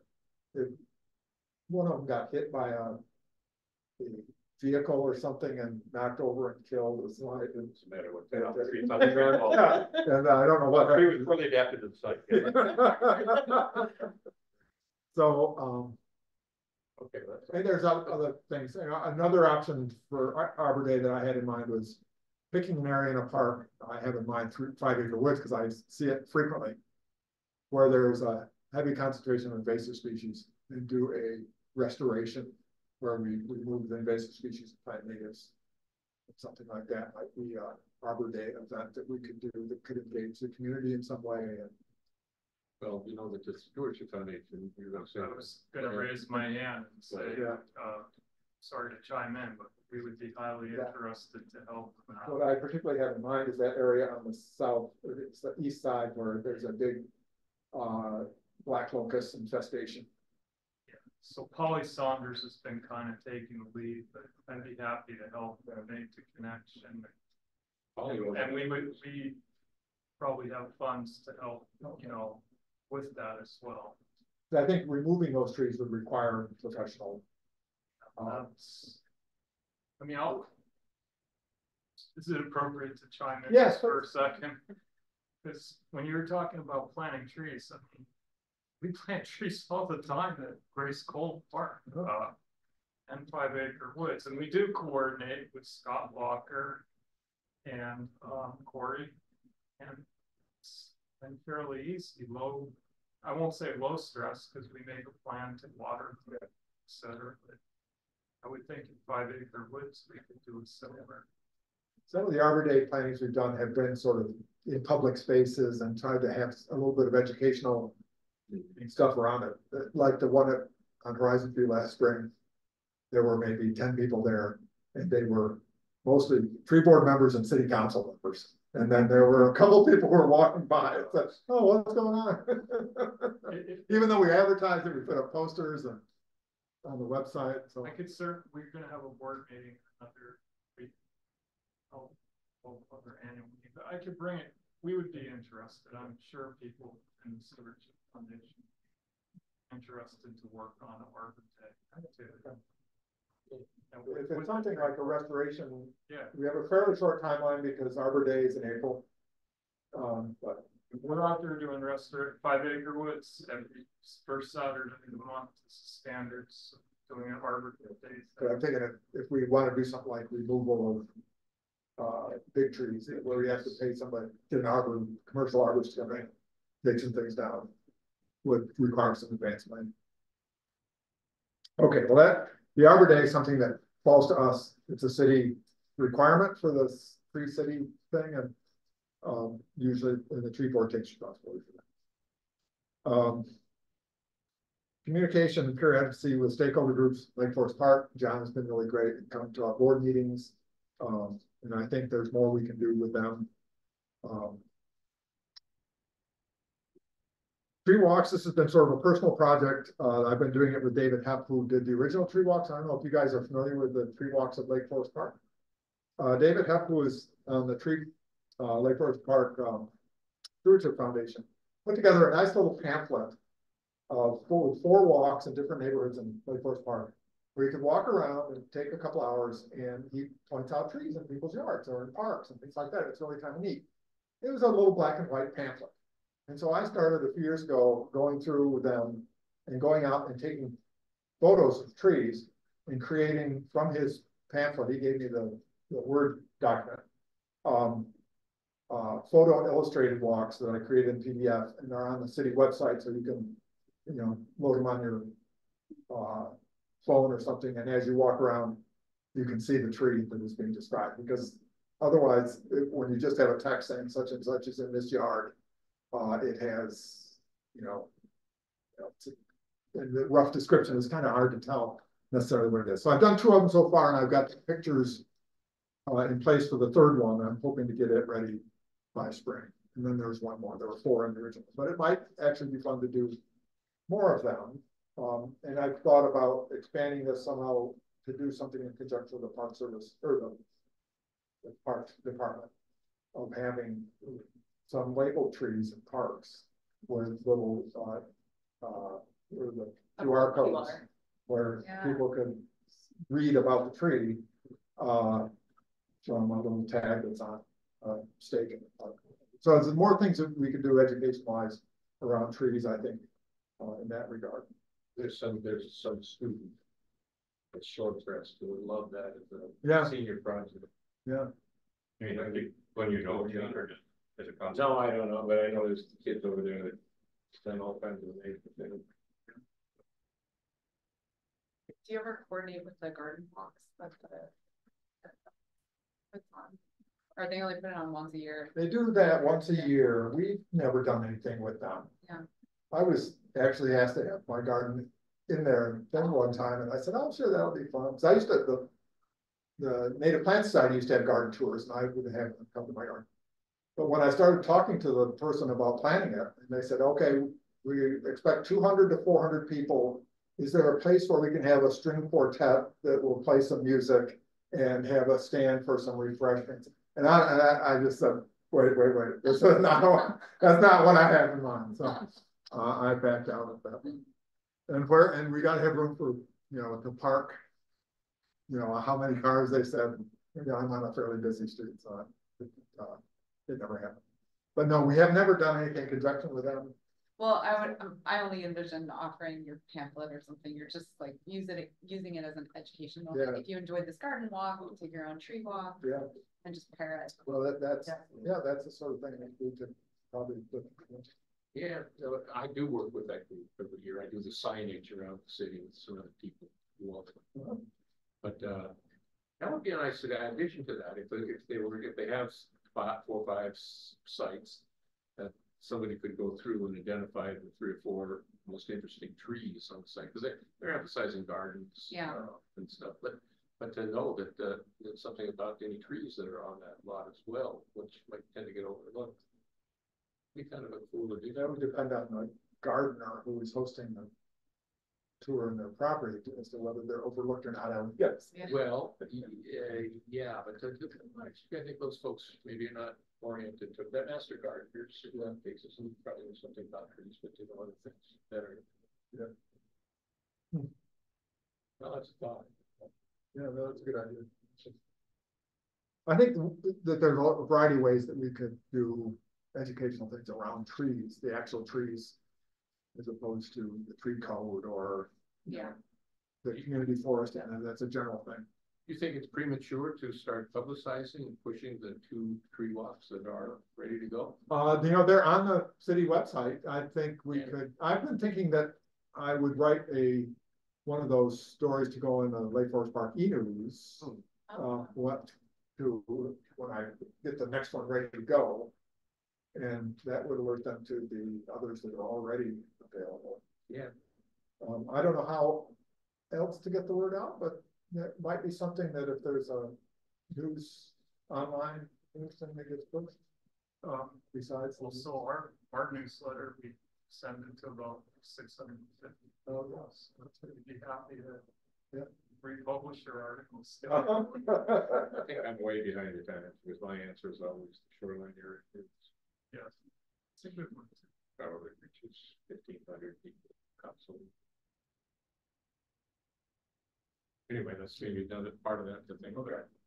So the next thing on the top of the next page was, uh, resurrect or otherwise engage the heritage tree program. This is something that Mandy was going to, we looked into, and obviously that didn't happen. But there is something called the heritage tree program. That nobody seems to know much about, but there were a bunch of trees that were designated heritage trees. It's separate from anything having to do with the tree code. Um, there was no specific requirements citizens could nominate a tree to become a heritage tree. And there, uh. Somewhere I found on the, the city website, I think, a thing about the heritage tree, there's a a downloadable. PowerPoint, uh, slide show that talks about it. Do you know anything about that? I did, back on the Environmental Quality Commission you know, was kind of trying to, trying to develop that program. Fifteen years ago, it's kind of like a black hole. Because there's no criteria, and then what do you do with, it was, so there was a nice binder made up with photos that people had submitted with description. Yeah, that's what. There's a binder and who has the binder and when can I get up and see it and. And, and I know we have the resources to put that material onto the city's website. And wouldn't we really want to do that anyway? Because it's people's favorite tree in their yard that they, Yeah, they nominate for that. It's, Yeah. um. Uh, yeah. This was planted in honor of our grandmother who died, something like that, you know, that, it's things like that that are, tend to be in there.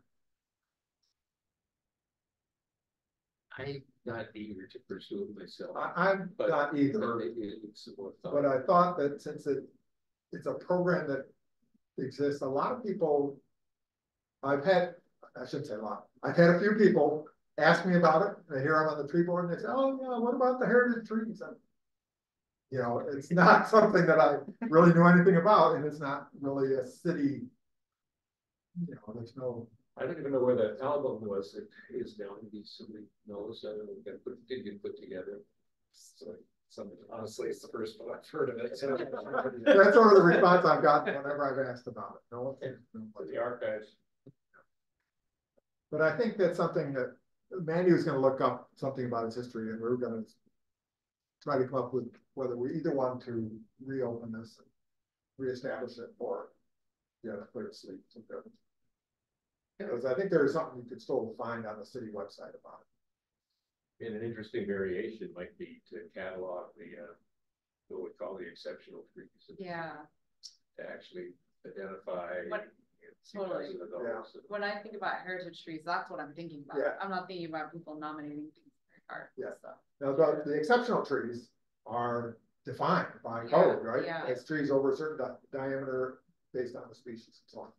And it would be neat to try to get that. I mean, we talked about a couple years ago trying to have a uh, tree contest or a tree, uh, champion trees list for the city Yes. to get people to promote, you know, to identify the biggest trees of any given species in the city and try to put that together.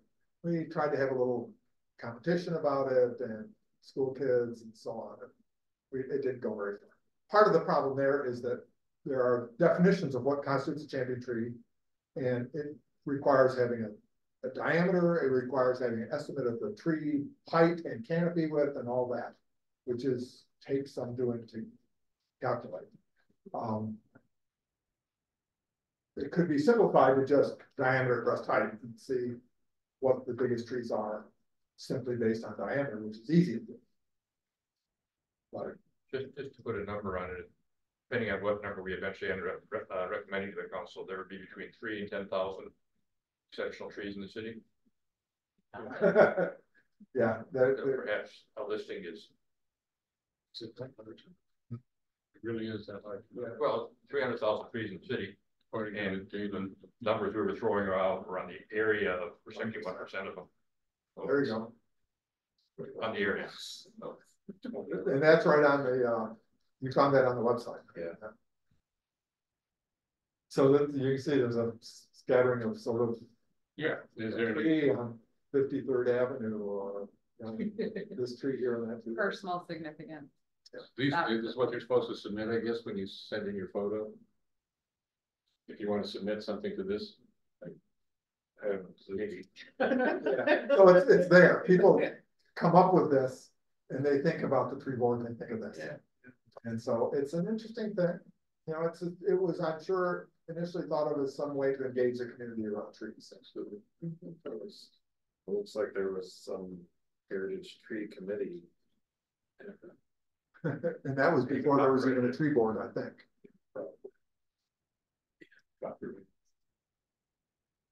It- oh, So I think it's probably still something we should Yeah, figure out whether we want to revive it or put it to sleep.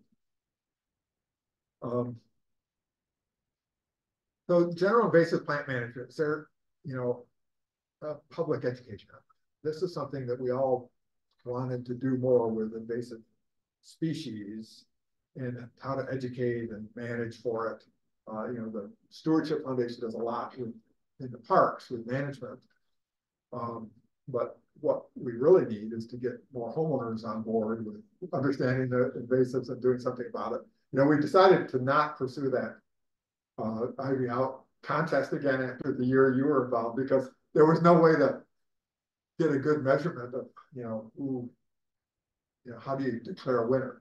We only had four people who participated that year and we decided to call them all winners and gave them each a tree, you know, which was the prize that we had set up for. Uh, But doing, you know, there might be some way to set that up as an ongoing, well, this is where we, that we had talked about the Ivy out demonstration, yeah, and I. I'm Assuming we still wanna pursue that even without Marty. I think it would be good to do. I think that's a great idea, because I feel like there's a lot of information online and you can go down these rabbit holes on how to remove, the best way to remove ivy. And it just depends on how long you wanna be removing ivy. Well, And that- then you have a bunch of people spraying poison everywhere, or some people try the cardboard way. Mm-hmm. So for me, the best way was pulling it out and at the root really Yeah. and making sure you pull it out of the root. Isn't there already a fair bit of information online about it though? I mean, if you look up There wa- Google, I I, I did Yeah. the same thing. there is, exactly. I'm not sure we need to create any more. I mean, No, no, but just showing people, right? Like literally physically showing people. It's The easiest So- way. The, the plan that Marty had in mind for this was to have a actual demonstration, which we invite people to come to, Yeah. but then also film it Mhm. and have a little video that we would put on the accessible on the city website. Where Yeah. people, if they looked up, you know, removal of Mashagi in Lake Forest Park, they could get a little demonstration on how best to do it, what tools you need, what, you know, to expect. Yeah. Especially getting it off trees, which is the most critical part. you know, for us. For us, it's no critical part. Yeah, I mean, if, Yeah. to prevent its You're right there. ultimate spread, because it doesn't go to fruit, it Right. doesn't produce fruits unless it grows up on something. Yeah. Uh, it's bad if it's on the ground, but at least it's gonna be stopped when it comes to a street. I had talked with Marty a lot about that one, and I, I certainly want to be a part of pursuing that. Okay. And I, I think, in the time, somebody like me should go ahead and get that application form for the permit that's needed, which. So these At least start taking a look at that. Does permits cost money or something like that? I don't know. I don't think so. I have the news on, you know. We had to get a permit for the, the gal if there is. the thing at the Horizon View last year, and it was pretty simple. It's just five. I just wanna point out it's eight fifty-five. Oh, well, we'll just go through a couple more of these, and then we'll just call it quits when we have. that. Um, so that's the first part on public outreach and education, tree planting and maintenance. Um, this is something that we've talked about a lot in the last year because of the transit plan for uh, tree removal and the resources that are likely to come available for replacement, either by the, the transit, people who are doing the transit project or in some way resources given to the city that we might have control over for doing it. And, uh, so that is a continuing, uh, discussion of how best to mitigate. I'm just pointing out that the city did approve your recommendation. done That's right, we made some That's- that's- recommendations, the right, council- for uh, yeah. priorities. The council approved the map of priority areas. We did that. Yeah. And most likely Sound Transit would be contracting with King Conservation District to actually do the replantings, reaching out to potential owners, things like that. I, I would get rid of the first sentence there. It's. The second one is kind of repetitive of one of the others. Yeah, okay, so we'll work on these in detail with the uh, future meeting. The Mac- McAleer Creek restoration, so this is pretty much done. This is Julia's big project. Although she spoke to me just the other day, she had walked down through there and she said it's really gonna need a second pass to do weed removal uh, in there to help assure that the, all the plantings that has been put in survive. And her recommendation would be to hire the people who came in and did it the first time to come in and do a second pass, a quick pass through. That would require some funding.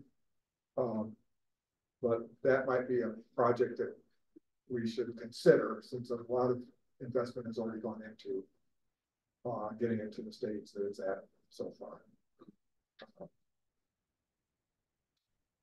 So advising the mayor and council on citywide, well, that's, it, this might be a good place to stop. Um, since we, it's nine fifty-eight. So this gives us some idea about, uh, what to do in the future. Matt sent this around to everybody. So I'd encourage everybody before our next meeting to look this over and have some ideas about where you feel your, uh, energy best fits. and Your interests, and if you have any ideas for things that you think we need to pick up that may not be on this list. Be creative, I'd say. Okay. Larry, we usually have time for a report from the council. You've contributed a few things. Anything else you have to say as parting words? Uh, not really, uh, we only met once in, in December. Um, and a lot of that was just kind of cleaning up some items. Um, So yeah, I'll keep you informed, um, but yeah, I think the council's eagerly awaiting your recommendations about the exceptional trees. Okay. I won't be here next month, by the way, so. You want to? Where are you off to? Hawaii. I have a quick announcement or report. Okay. Uh, it's just follow up on, uh, we had, uh, uh, Sarah Phillips, who some of you know, was, uh, briefed us on the Miyawaki Forest project over in Shoreline. And, uh, she wanted me to tell you all that it happened, the planting early in December, they had three hundred people show up. Wow. On a cold, rainy day, there was snow falling for a few minutes in the afternoon. And nobody left, and they had, uh, they had great, uh, some great chef, had wonderful pumpkin bread, thousands of loaves, and everybody had a good time. We had people, a lot of kids, a lot of students came with groups, and, uh, they planted, uh, twelve hundred plants. That planted, this person who does this, has done this at different places, and knows how to organize groups to. To, to, to, to take on sections and still see that that the plants are planted in a diverse kind of way and not all clumped. in such a way. So, and there was a nice write-up from, uh, Linda Mapes with the Seattle Times, who writes on environmental topics in the time. Nice write-up. And she said that there was somebody there from the Department of Transportation that was interested in something like that on some of the small properties that they have around the area. I think it's a- So, just wanted to I've been over, I walked through it afterwards, a week or so later. And it was very interesting. Uh, I'll be, I'm, I'm gonna be very curious to see how it comes out. I know, it's, you know, it's a, it's, it's an urban invention. Yeah. It's an urban creation, it's a, it's a special kind of forest, and And it's still a very experimental stage, I think, in terms of, I think it is. and it, they're doing them all over the world and in different environments. I think there'll be varying degrees of success. for- What's the intent? So the intent is in a small area to pack it with a lot of species, do a lot of, invest a lot of time in advance in soil preparation. So you have really good soil. You plant a lot of, a lot of things in a small area. It takes intensive, the plan is it'll be intensive management with watering and weeding and so on for the first couple of years. And then it's supposed to be self-sustaining. I think there'll be a lot of self-thinning, things will, will, a lot of things will inevitably die. Ask the guy what the mortality rate was, and he said probably no more than ten percent, it's his thought, In, in how long? Over a three-year period. Yeah, that may be. Wow. I mean, if that, if it's watered well and maintained. But there's certain things in there that are simply not gonna survive as they grow up. There's a few some other things I noticed that were planted that, once everything gets crowded around, will not make it. But It's all native, so it's a, that's, it's a, it'll be an interesting experience. Native to the, native to this actual area or the state or? Uh, Pacific Northwest at least, yeah, so, yeah, all of the things that I saw that I could identify. But, you know, and a lot of things like big leaf maple, Douglas fir, Sitka spruce, western red cedar, uh, lodgepole pine, so there's a lot of alder, there's a lot of our main prominent woody plants. I don't know how many of those twelve hundred were actually trees. Yeah. Versus. I think there might be, yeah, maybe thirty or forty conifers. Yeah. Seedlings, and then a lot of shrubs and stuff, only a handful of. Uh, big leaf maples. that I could see, An odd situation for lodgepole pine.